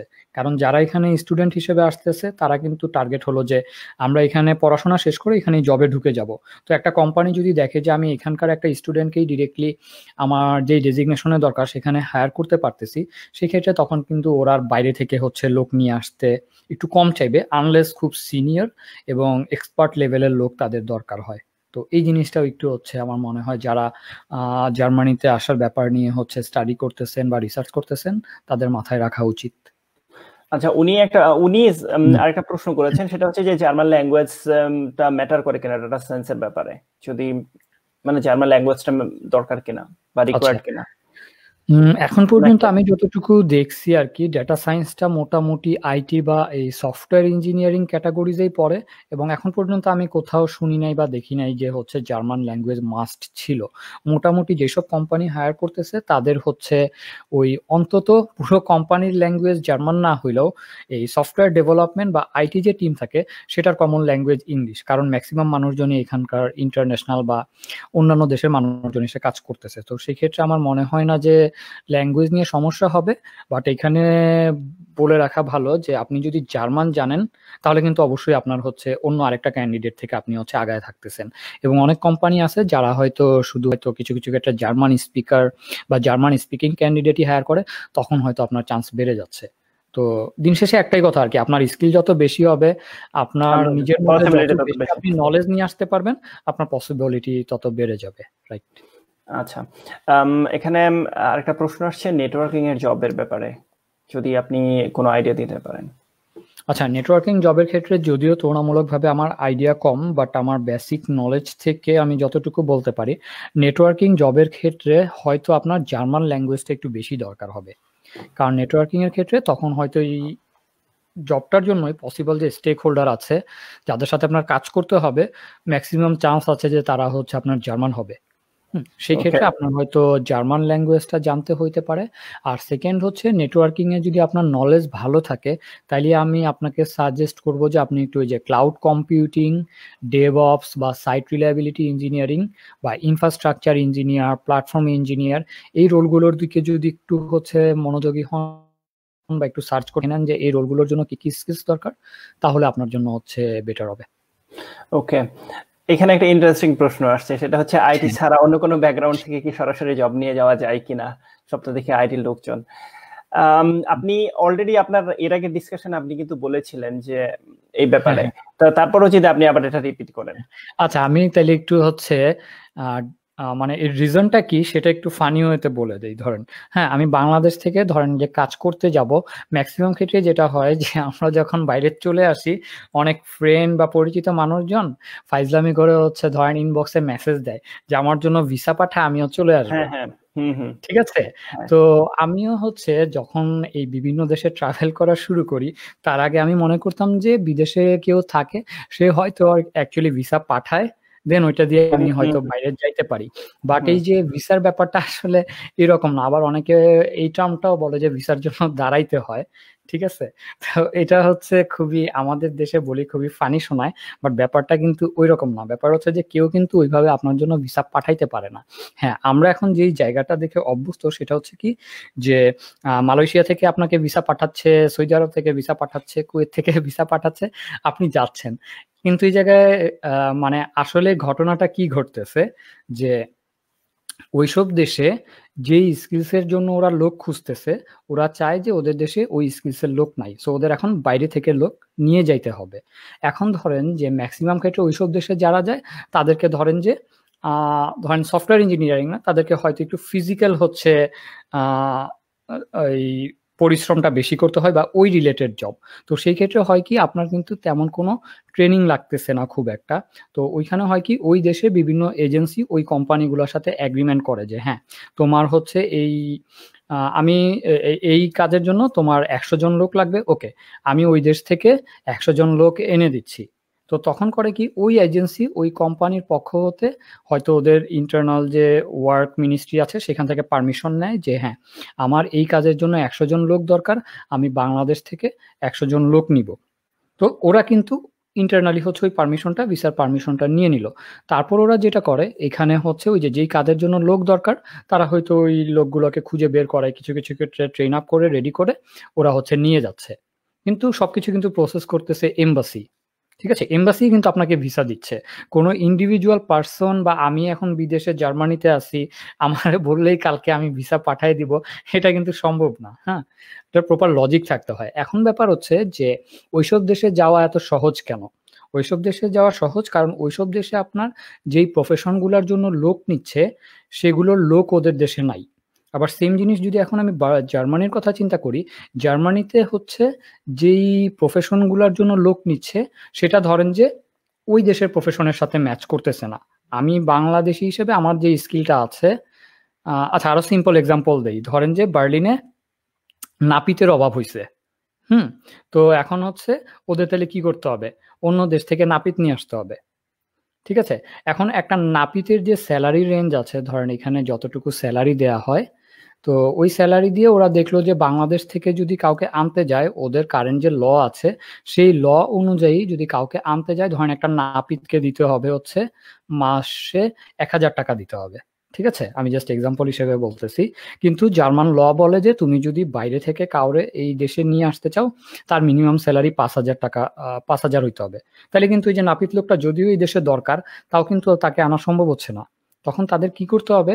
আশেপাশের দেশ থেকে ইউরোপিয়ান রিজিয়ন আর ইউরোপের মধ্যে একটা ব্যাপার হচ্ছে ওরা সব সময় ফার্স্ট প্রায়োরিটি দেয় হচ্ছে নিজের দেশ, তারপর দেয় হচ্ছে ইউরোপিয়ান রিজিয়নের মধ্যে। কারণ যারা ইউরোপিয়ান সিটিজেন আছে, তাদের অ্যাকচুয়ালি ইউরোপের যে কোনো দেশের কান্ট্রিতেই হচ্ছে জব করার আই থিঙ্ক পারমিশন থাকে। হুম, তো ব্যাপারটা ওইটাই। আপনাকে তাহলে ফার্স্টে চিন্তা করতে হবে, ওরা তো ভাই আইটি বা সফটওয়্যার ইঞ্জিনিয়ার আমরা অনেক মেধাবী, অনেক কিছু জানি এই জন্য কিন্তু আমাদেরকে নিয়ে আসতেছে না। আমাদেরকে নিয়ে আসতেছে ভাই কারণ ওদের দরকার। ঠিক আছে? এখন অন্য যে সেক্টরগুলো আছে জবের সেখানে হয়তো ওদের দরকার নাই। আবার দরকার হলে ওই যে বললাম ফার্স্ট চ্যালেঞ্জ হচ্ছে ভাষা। তাদের ধরেন যে ডাক্তার দরকার। কিন্তু বাংলাদেশে আমি ডাক্তার হয়েছি আমি তো এখন ওদের দেশে এসে কাজ করতে গেলে আমার জার্মান ল্যাঙ্গুয়েজ জানা লাগবে। আমি তো জার্মান ল্যাঙ্গুয়েজ জানি না, সেক্ষেত্রে তো ওরা আমাকে চাইলেও নিতে পারতেছে না। তো এরকম কিছু ব্যাপার আছে আর কি। দিন শেষে হচ্ছে ওই যে ডিমান্ড আছে, যেটার সাথে ওদের ডিমান্ড ম্যাচ করতেছে, সেই অনুযায়ী হচ্ছে ওরা নিয়ে নিচ্ছে। এটা আমরা একটু লাকি আর কি যে আমি বলব যে আমরা যে খুব নলেজেবল পারসন মেরিটোরিয়াস পারসন ওই রকম কিছু না। আমরা জাস্ট তুলনামূলকভাবে বলব যে একটু লাকি এই কারণে যে এই ইন্ডাস্ট্রিতে লোক দরকার। সামহাও আমার ক্যারিয়ারের সাথে এই ইন্ডাস্ট্রির যে গ্যাপটা আছে সেটা ম্যাচ করে গেছে। এই জন্য হচ্ছে আমি হয়তো চলে আসতে পারতেছি। আর সেকেন্ড হচ্ছে যেহেতু এই ইন্ডাস্ট্রিতে যারা কাজ করতেছে, তারা ম্যাক্সিমাম বাইরে থেকে এসে করতেছে, তার মানে এখানে সবাই ইংলিশটাকেই হচ্ছে কমন ল্যাঙ্গুয়েজ হিসেবে নিতে বাধ্য হয়েছে যার কারণে আমি আসতে পারতেছি। ওকে um, একটা খুবই ইম্পর্টেন্ট এবং ইন্টারেস্টিং প্রশ্ন আসছে। Um, আশা করি এটা সবারই কাজে লাগবে। সেটা হচ্ছে যে ওয়ার্ক এনভায়রনমেন্টটা কীরকম? আর হচ্ছে জব সিকিউরিটি পাকের হাসান উনি প্রশ্ন করেছেন। আচ্ছা খুবই চমৎকার কোশ্চেন করছেন আর কি। নইলে আমিও হয়তো এটা একটু শেয়ার করার চেষ্টা করতাম। তো প্রথমত যেটা বলব যে আর আমি হয়তো এই জিনিসগুলো শেয়ার করলে কেউ আবার নেগেটিভলি নিবেন না যে আমি দেশের সাথে হয়তো এটার কম্পেয়ার করতেছি বা দেশকে হচ্ছে ছোট করতেছি।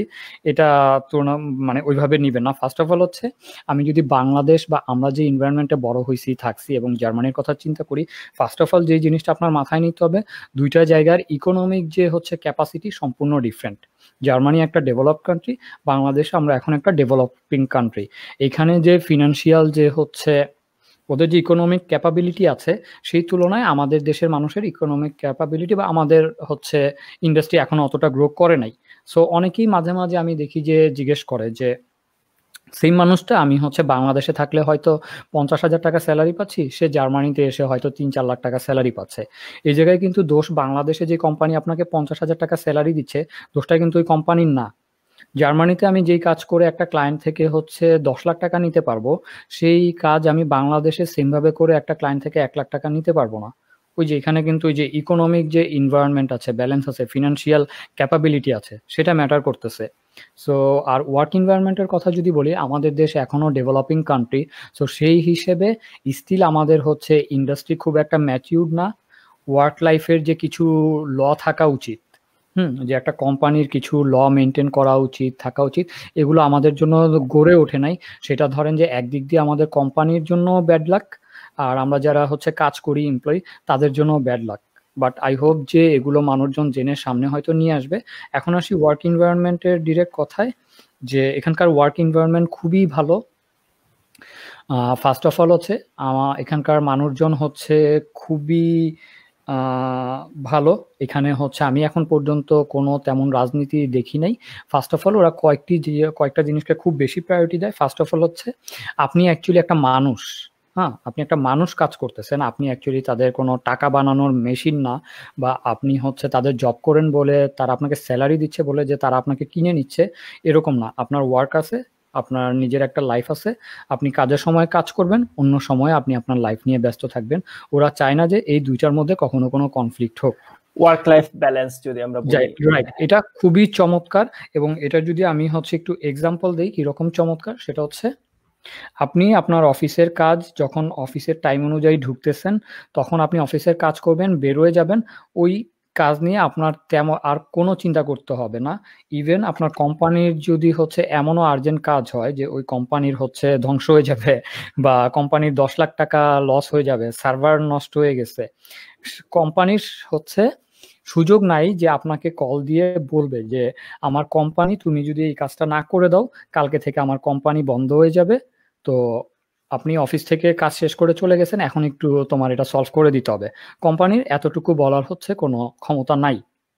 আর যেটা দেখছি আমার কোম্পানিতে, আপনি যদি আপনার অফিস আওয়ারের বাইরে কোনো ধরনের কাজ আপনার করা লাগে, সেটার জন্য আগে কোম্পানির সাথে আপনার অ্যাগ্রিমেন্ট থাকবে এবং এমনভাবে অ্যাসাইন করে দিবে যে হ্যাঁ এই কয়টা পার্সন যদি এই তাদের ওয়ার্ক আওয়ারের বাইরেও এই টাইম ফ্রেমের মধ্যে কল করতে মানে হচ্ছে কোনো ইস্যু ঘটলে আপনি ওইটা রিসিভ করতে পারবেন। এটাকে হচ্ছে অন কল ডিউটি বলে।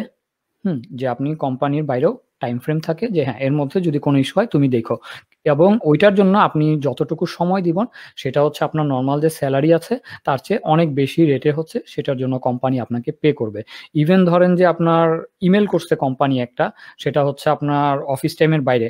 আপনি যদি ওই ইমেলের হচ্ছে ওয়ার্ক পারপাজে রিপ্লাই করেন কোম্পানির কাছে যদি আপনি ক্লেম করেন যে এটার জন্য আপনাকে হচ্ছে যে ইমেল যে আপনি রিপ্লাই দিচ্ছেন সেটা তো আপনার অফিসের পারপাজে দিচ্ছেন সেটার জন্য যদি আপনি ক্লেম করেন কোম্পানি আপনাকে হচ্ছে টাকা দিতে বাধ্য বা পে করতে বাধ্য। এখন আসি হচ্ছে ও আচ্ছা ওয়ার্ক এনভায়রনমেন্টের আরেকটা ব্যাপার বলি। প্রতিটা কোম্পানির ম্যাক্সিমাম ক্ষেত্রেই সফটওয়্যার ইঞ্জিনিয়ারিংয়ের তাদের কোম্পানির নিজস্ব বাজেট থাকে। আপনি যাতে ট্রেনিং ওয়ার্কশপ এগুলোতে অ্যাটেন্ড করে নিজের স্কিলকে হচ্ছে সবচেয়ে বেশি মানে অলওয়েজ হচ্ছে ডেভেলপ করতে পারেন। আমি দেখছি আমাদের দেশে অনেক ক্ষেত্রে কোম্পানি যেটা করে কি অনেক এমপ্লয়ীদেরকে নতুন জিনিস শিখতে দেয় না বা ডেভেলপ হইতে দেয় না। কোম্পানি মনে করে আমাদের দেশে কিছু কিছু কোম্পানি যে আমার এমপ্লয়িটা যদি খুব বেশি হচ্ছে ডেভেলপ হয়ে যায় তাহলে তো হচ্ছে আমার এখানে থাকবে না অন্যখানে চলে যাবে। চলে যাবে। রাইট কিন্তু আমার এখানে হচ্ছে কোম্পানি উল্টো আপনাকে হচ্ছে প্রেশার দিবে। যেমন আমার কোম্পানির ক্ষেত্রে যদি বলি, আমার কোম্পানির ক্ষেত্রে প্রতি বছর এক হাজার ইউরো আমার জন্য বাজেট আছে, যে এক হাজার ইউরো এই টাকাটা আমি আমার নিজের পার্সোনাল ডেভেলপমেন্টের জন্য হচ্ছে ব্যয় করতে পারব। তো আমার যে লাইন ম্যানেজার আছে, সে কিছুদিন পর পরই আমাকে হয়তো জিজ্ঞেস করে যে, সুমন, তুমি কি কোনো অনলাইন কোর্স করতে চাও কিনা? কোনো কনফারেন্স অ্যাটেন্ড করতে চাও কিনা? তোমার জন্য কিন্তু এই বাজেটটা আছে, তোমার কিন্তু এই বাজেটটা এই বছরের মধ্যে খরচ করতে হবে। আর সেকেন্ড হচ্ছে, আপনি পার্সোনালি যে নিজে ডেভেলপ করতে চাচ্ছেন, শিখতে চাচ্ছেন, সেটার জন্য যদি আপনার মনে হয় যে কোম্পানির সাপোর্ট দরকার, তাহলে কোম্পানি আপনাকে হেল্প করবে। সেটা আমি আমার আজকের এক্সাম্পলই দিতে পারি। আমি কোভিডের সময়ে এই মাসটাতে কোর্সেরাতে গুগল প্ল্যাটফর্ম হ্যাঁ গুগল ক্লাউড প্ল্যাটফর্মের উপর কোর্স করতেছিলাম কয়েকটা। তো এগুলো আমি কোর্স করে হচ্ছে লিঙ্কটিনে ওই সার্টিফিকেটগুলো শেয়ার করতেছিলাম।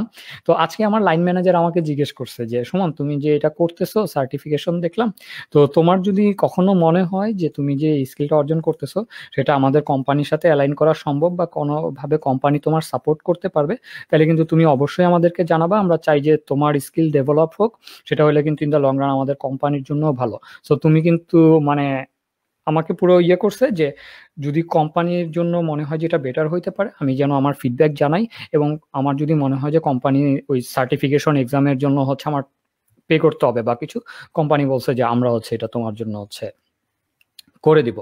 আর জব সিকিউরিটির যে ব্যাপারটা আছে, সেটা মনে হয় হচ্ছে কোন দেশের ইনভায়রনমেন্ট কীরকম বা তাদের ওইখানে লেবার ল কীরকম, তার উপর নির্ভর করে। তো এখন পর্যন্ত আমি যেটা দেখছি যে, জার্মানির লেবার ল খুবই ভালো।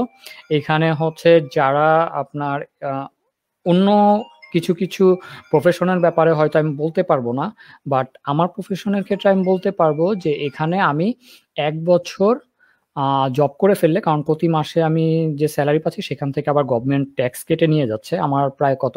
ফর্টি টু পার্সেন্টের মতো ট্যাক্স দিতে হয়। আমি একশো টাকা পাইলে আমার এই একশো টাকা অলমোস্ট বিয়াল্লিশ টাকা হচ্ছে কোম্পানি সরি সরকার নিয়ে যাচ্ছে। এই বিয়াল্লিশ টাকার মধ্যে অনেক কিছু আছে যে বিয়াল্লিশ পার্সেন্টের মধ্যে ট্যাক্স আছে। তা আনিস ভাই মনে হয় ভালো বলতে পারবেন। হয়তো একটু পর ডিসক্রাইব করে দিতে পারবেন যে এটার মধ্যে কি কি আছে। তো নিয়ে যাচ্ছে। তো এটার বেনিফিট কিন্তু আমি পাচ্ছি। বেনিফিট কি? আমার যদি চাকরি চলে যায়, চাকরি চলে গেলে আমি হচ্ছে জব না পাওয়া পর্যন্ত ছয় মাসের মতো মেবি হচ্ছে এখানে আপনার জব সেন্টার আছে, ওইখানে আমি অ্যাপ্লাই করে বলতে পারব যে আমার জব চলে গেছে, আমি জব পাচ্ছি না। তো ওই সময়টাতে আমি যতটুকু শুনছি আর কি, যে আমি যতটুকু স্যালারি পাচ্ছিলাম, তার তিন ভাগের দুই ভাগ হচ্ছে ওই জব সেন্টার থেকে আমাকে প্রোভাইড করবে, যাতে আমি হচ্ছে এখানে খেয়ে পড়ে বাঁচতে পারি। সেকেন্ড হচ্ছে আপনি জব চলে গেলে ওরাও আপনাকে হচ্ছে যদি মনে করে যে হ্যাঁ রাইট জব খুঁজে দিবে এবং যদি মনে করে যে আপনার কোনো ট্রেনিংও দরকার আছে তাহলে কিন্তু ওইটার জন্য ওরা আপনার ব্যবস্থা করে দিবে এবং কিছু কিছু ক্ষেত্রে ওগুলা হচ্ছে আপনার ওরা কস্ট দিয়ে দেয় আর কি হুম তো সেই হিসেবে আমি বলব যে যে জব সিকিউরিটি আলহামদুলিল্লাহ খুব ভালো বাট আবার আরেকটা জিনিস বলে রাখি সেটা আজকে আমার কোম্পানিতে অ্যানাউন্সমেন্ট হয়েছে সেটা হচ্ছে যে এখানে যেমন সবকিছু আপনাকে প্রোটেক্ট করে আবার এখানে কিছু লও আছে যে ল যদি আপনি হচ্ছে মেনে না চলেন, তাহলে কিন্তু ধরেন যে কোনো মাফ নাই। আপনি যদি কোনো ইনসিডেন্ট করেন কোম্পানিতে সেটা ধরেন যে যে ল আছে সেই অনুযায়ী আপনার হচ্ছে পুরোপুরি ওইটার হচ্ছে পানিশমেন্ট হবে কিন্তু। ঠিক আছে? যেমন হচ্ছে যে পুরো ইউরোপ জুড়েই ওই জিডিপিআর নামে একটা হচ্ছে ল আছে যে জেনারেল ডাটা প্রাইভেসি রেগুলেশন তো এখানে মানুষজনের প্রাইভেসি খুবই হচ্ছে করা ডাটা সেফটি যেটা হ্যাঁ।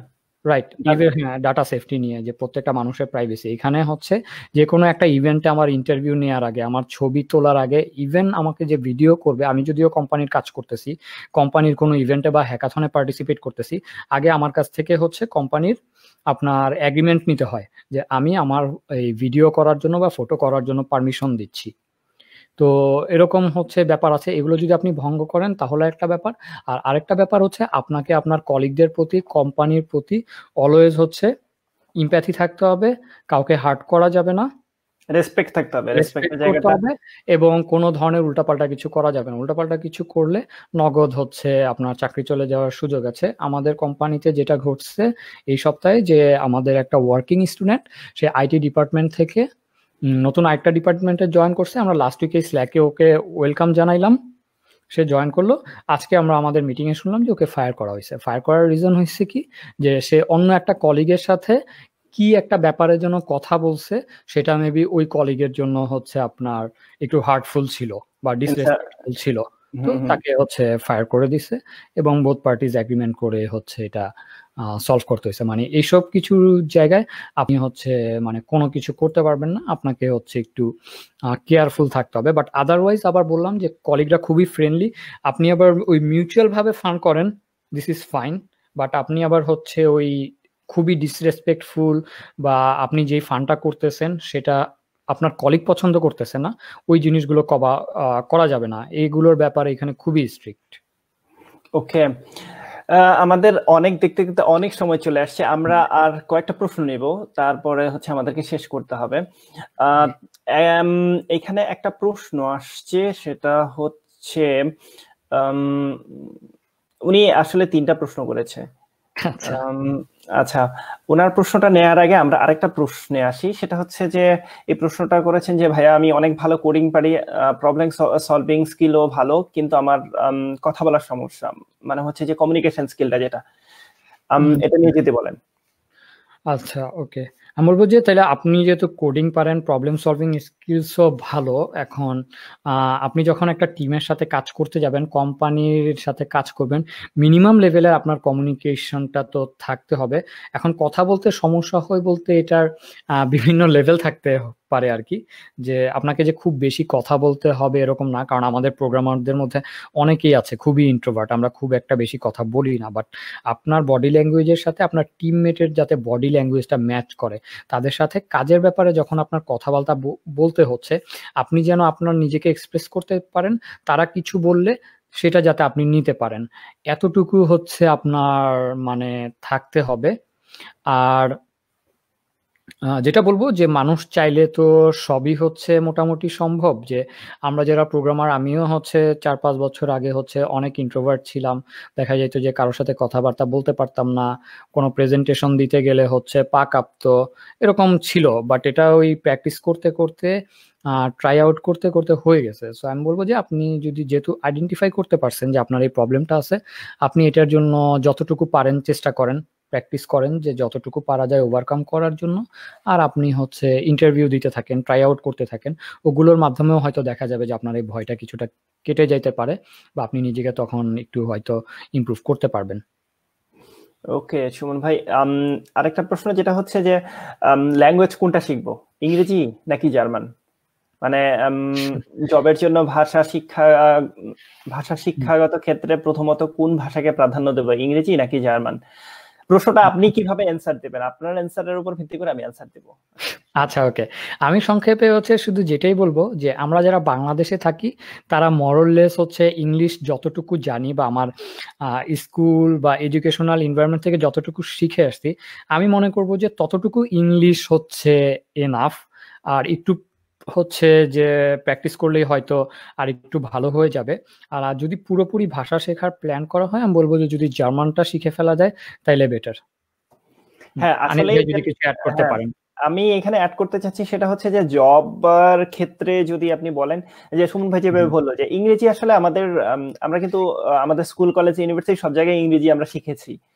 তো তারপরেও আমরা যদি বলি যে শেখার পরেও আমাদের ইংরেজির ইউজটা বা ব্যবহার করাটা না আমাদের অভ্যাসটা ওরকম না থাকার কারণে আমরা কিন্তু অতটা ফ্লুয়েন্ট হতে পারি না। তো আপনি যদি সেম ভাবে চিন্তা করেন যে আপনি জার্মান ভাষা একটা ল্যাঙ্গুয়েজ আপনি প্রায় ক্লাস ওয়ান থেকে শিখে ইউনিভার্সিটিতে তার মানে ষোলো বছর যদি আমরা হিসাব করি ব্যাচেলর সহ ষোলো বছর শেখার পরেও আমরা সেই ল্যাঙ্গুয়েজটা ফ্লুয়েন্টলি ইউজ করতে পারি না অনেকেই অনেক ক্ষেত্রে বা প্র্যাকটিসের কারণে। আর সেক্ষেত্রে আপনাকে জার্মান ল্যাঙ্গুয়েজটা শিখতে হবে হচ্ছে জিরো থেকে। সো এখন যেটা হচ্ছে যে আপনার জবে কোথায় কোন জবটাতে ইংরেজি লাগবে আর হচ্ছে কোন জবটাতে জার্মান লাগবে। এটা ডিপেন্ড করবে হচ্ছে পুরোটাই আপনার জবের এনভায়রনমেন্টের উপরে। আপনি কোন পজিশনে বা কোথায় কাজ করছেন? এখন আপনি যদি কাস্টমার কেয়ারে বা কাস্টমার রিলেটেড যেখানে আপনাকে ডিরেক্ট কমিউনিকেট করতে হচ্ছে জার্মান ল্যাঙ্গুয়েজে বা জার্মানদের সাথে যেখানে আপনার ওয়ে অফ কমিউনিকেশনটা হচ্ছে জার্মানে সেক্ষেত্রে তো আপনাকে জার্মান অবশ্যই লাগবে। সো আমি আমার ব্যক্তিগত পরামর্শ হবে যে ইংরেজি তো আমরা অলরেডি শিখে ফেলেছি। সো আমরা ওইটাকে ওই প্র্যাকটিস করে ওই স্কিলটা বাড়ালেই মোটামুটি সুমন ভাই যেভাবে বলল যদি আইটি ইন্ডাস্ট্রিতে হয় সেক্ষেত্রে ওইটা এনাফ যদি আপনি শুধু ওটা ইউজ করতে পারেন। তারপরে হচ্ছে জার্মানের ব্যাপারটা হ্যাঁ বেসিক জার্মান জার্মান ল্যাঙ্গুয়েজটা যদি আপনি শিখতে পারেন সেক্ষেত্রে এটা আপনাকে এক্সট্রা বেনিফিট দেবে এবং আপনি অন্যান্য কম্পিটিটর থেকে এগিয়ে থাকবেন। সো পরামর্শ হচ্ছে এটাই যে ইংরেজিটা ভালো করতে হবে আর হচ্ছে সাথে সাথে যদি জার্মান ল্যাঙ্গুয়েজটা শেখানো যায়। আর জব কোন আপনি কোন জব করছেন সেটার উপর ডিপেন্ড করবে হচ্ছে যে আপনি ল্যাঙ্গুয়েজ লাগছে কি লাগছে না। আচ্ছা আমরা সুমন ভাই শেষ করব। আমি শুধু একজন আচ্ছা। উনি তিনটা প্রশ্ন করেছেন। সেটা হচ্ছে যে সামারিটা হচ্ছে এরকম যে স্যালারি রেঞ্জটা কীরকম হ্যাঁ? আর হচ্ছে উনি প্রশ্ন করেছেন সেটা হচ্ছে যে লিভিং এক্সপেন্সটা কীরকম? আচ্ছা, আচ্ছা। আর হচ্ছে family facilities to live with family compare to Bangladesh. মানে তিনটা একটা কম মানে কম হ্যাঁ, মানে চিন্তা করেন। হচ্ছে উত্তর দিয়ে দেওয়া পসিবল আর হ্যাঁ। ফার্স্ট অফ অল হচ্ছে আমি এটাই বলব যে স্যালারির এক্স্যাক্টলি কোনো একটা রেঞ্জ বলার আগে এটা বলব যে এখানকার আগেই বলছি যে ইকোনমিক হচ্ছে যে ইনভায়রনমেন্ট বা ফিনান্সিয়াল ক্যাপাবিলিটি আছে, ওদের যে ইনফ্রাস্ট্রাকচার সেটা এমনভাবে ডেভেলপ করা যে আপনি যেই প্রফেশনেই আসেন না কেন স্যালারি রেঞ্জটা এমনভাবে করা যাতে আপনি আপনার পরিবার সহ ভালো একটা লাইফ সুন্দরভাবে ডিসেন্ট একটা লাইফ হচ্ছে লিড করতে পারেন। আপনার হচ্ছে ফুল টাইম জবই যাতে এই একটা জবই আপনার জন্য হচ্ছে লাইফ লিড করার জন্য এনাফ হয়। আমাদের মতো যাতে ওই একটা জব করে আবার পার্ট টাইম কোনো কাজ করার অপরচুনিটি আছে কিনা, অনেক বেশি দৌড়াদৌড়ি, এগুলো এখানে করতে হয় না। সো যতটুকু স্যালারি আপনি যে রোলের জন্য অ্যাপ্লাই করবেন, তুলনামূলকভাবে হচ্ছে এনাফ সেকেন্ড হচ্ছে এন্ট্রি লেভেলের জবের জন্য আপনার হয়তো রেঞ্জ থাকে forty thousand euro per annum থেকে ফিফটি থাউজেন্ড ইউরো বা ফর্টি ফাইভ থাউজেন্ড ইউরো আর আপনি যদি মিড লেভেল বা সিনিয়র লেভেলে আসেন, তাহলে হয়তো ফিফটি থাউজেন্ড ইউরো পার মানে প্রতি বছর পঞ্চাশ হাজার ইউরো থেকে এটা হচ্ছে এক্সপেরিয়েন্সের উপর নির্ভর করে সত্তর আশি ইউরো সত্তর আশি হাজার ইউরো পর্যন্ত হইতে পারে। তবে সত্তর আশি ওই রেঞ্জটা আপনার ধরার জন্য আপনাকে খুবই স্কিল্ড হইতে হবে। আমি যদি এই দেশের হচ্ছে মানে ইয়ারলি এক্সপিরিয়েন্সের সাথে তুলনা করি, সাত আট বছরের বেশি আপনার হচ্ছে এক্সপিরিয়েন্স থাকতে হবে। আর যদি হচ্ছে, আর যেটা বলছি যে এখানকার স্যালারি রেঞ্জটাই ওরা এমনভাবে দেয় যাতে আপনি এবং আপনার পরিবার সহ সুন্দরভাবে ভালোভাবে থাকতে পারেন। তবে জার্মানিতে সিঙ্গেল থাকার চেয়ে হয়তো হচ্ছে যারা পরিবার নিয়ে থাকেন, তাদের ফ্যাসিলিটিস বেশি আর কি। আমার ট্যাক্স বেশি দেওয়া লাগে। যাদের পরিবার আছে, তাদের হয়তো ওয়াইফ থাকলে সেটার জন্য আপনি যাতে আপনার ওয়াইফকে মেনটেন করতে পারেন, সেটার জন্য একটা টাকা হচ্ছে ওরা পে করে, যেটা অ্যাকচুয়ালি আপনি ট্যাক্সের সাথে চিন্তা করলে হয়তো দেখা যায় যে আপনার ট্যাক্সের পার্সেন্টেজটা কমে যাচ্ছে। আপনার যদি বাচ্চা থাকে, তাহলে হচ্ছে সেই পার্সেন্টেজটা আর একটু কমে যাচ্ছে। আর আমি যতটুকু জানি, এখানকার হচ্ছে পাবলিক যে স্কুল আছে, সেখানে হচ্ছে বাচ্চাদের পড়াশোনার জন্য কোনো ধরনের খরচ দিতে হয় না। ইভেন হচ্ছে মানে যা, আমরা সবাই হয়তো জানি যে জার্মানিতে ভার্সিটিগুলোতেও হচ্ছে আপনার পাবলিক ভার্সিটি যেগুলো, সেগুলোতে কোনো টিউশন ফি নাই। তো রেঞ্জও বললাম আর আচ্ছা ফ্যামিলি হচ্ছে ফ্যাসিলিটিস সে ফ্যাসিলিটিসও খুবই ভালো। আর যদিও এটা পার্সন টু পার্সন হচ্ছে ভ্যারি করবে যে আপনি কি এক্সপেক্ট করেন হুম?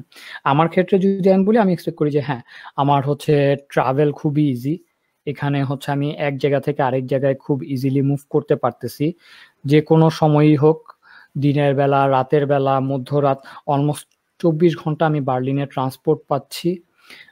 সেফ যদিও কিছু বিচ্ছিন্ন ঘটনা ঘটে থাকতে পারে এটা পৃথিবীর সব জায়গাতে সব জায়গায় থাকে হ্যাঁ। বাট তুলনামূলকভাবে আমার বার্লিন হচ্ছে ওয়ার্ল্ডের one of the safest city but ওই যে সেটা পার্সপেক্টিভের উপর নির্ভর করে।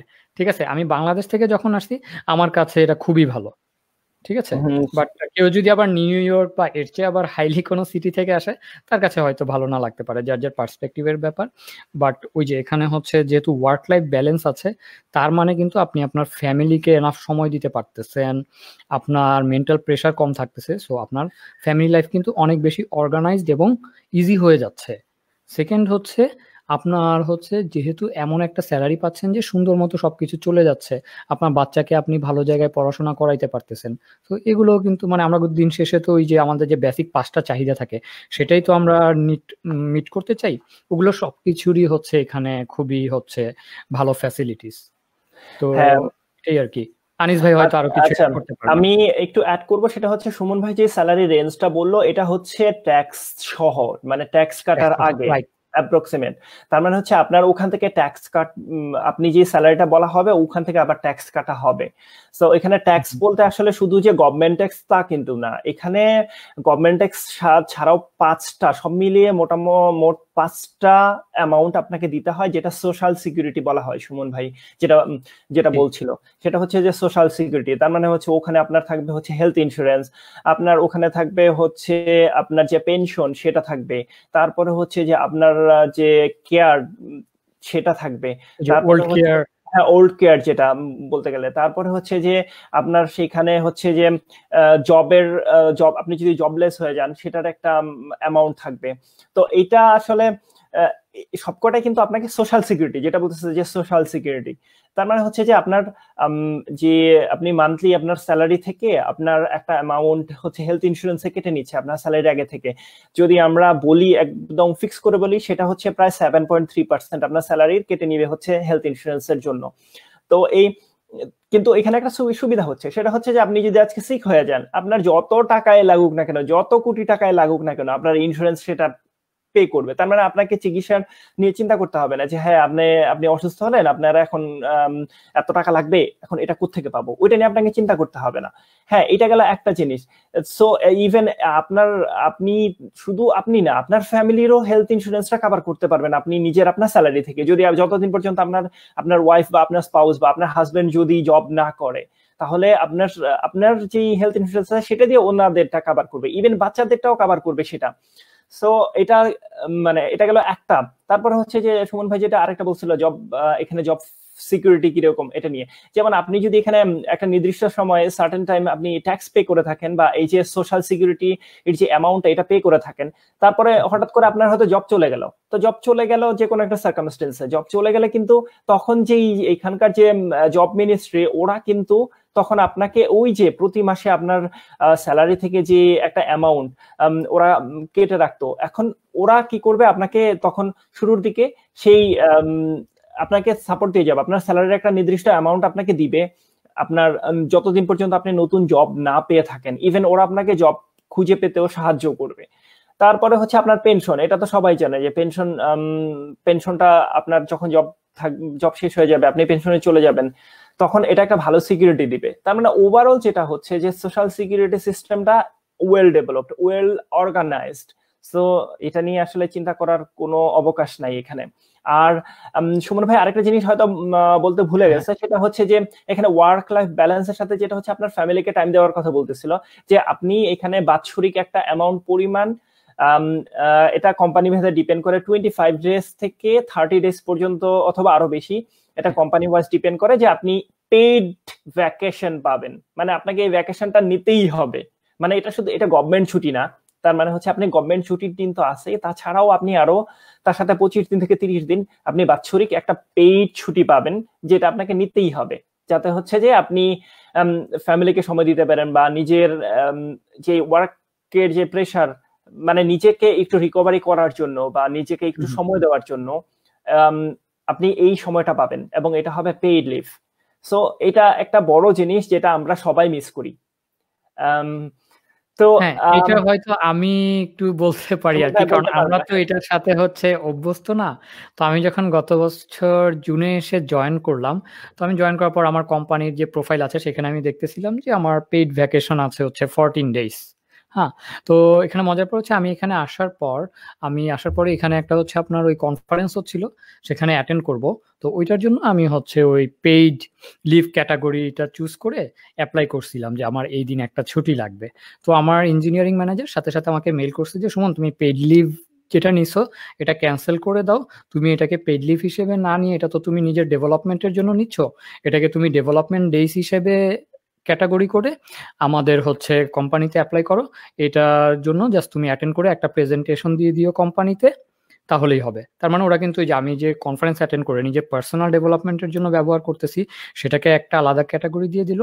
আর তারপর আমি তো জুনে জয়েন করছি, আমাকে ওরা হচ্ছে সেপ্টেম্বর অক্টোবরের দিকে যখন আমার ইঞ্জিনিয়ারিং ম্যানেজারের সাথে মিটিং হচ্ছিল, তখন একদিন আমাকে ডেকে বলো যে, সুমন, তোমার এরকম চোদ্দ দিন হচ্ছে ছুটি আছে।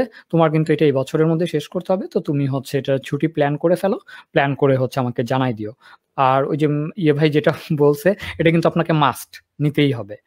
হ্যাঁ এই বছর হ্যাঁ। যেমন আমার অলরেডি হচ্ছে পঁচিশ দিন এখনও আছে মানে আমরা আমার কোম্পানিতে আমরা হচ্ছে ছাব্বিশ দিন পাই। এই ছয় মাসে এখন পর্যন্ত মাত্র একদিনের মতো ছুটি নেওয়া হয়েছে স্টিল আমার পঁচিশ দিন আছে। এই পঁচিশ দিন কিন্তু আমার হচ্ছে এই বছরের মধ্যে শেষ করতে হবে।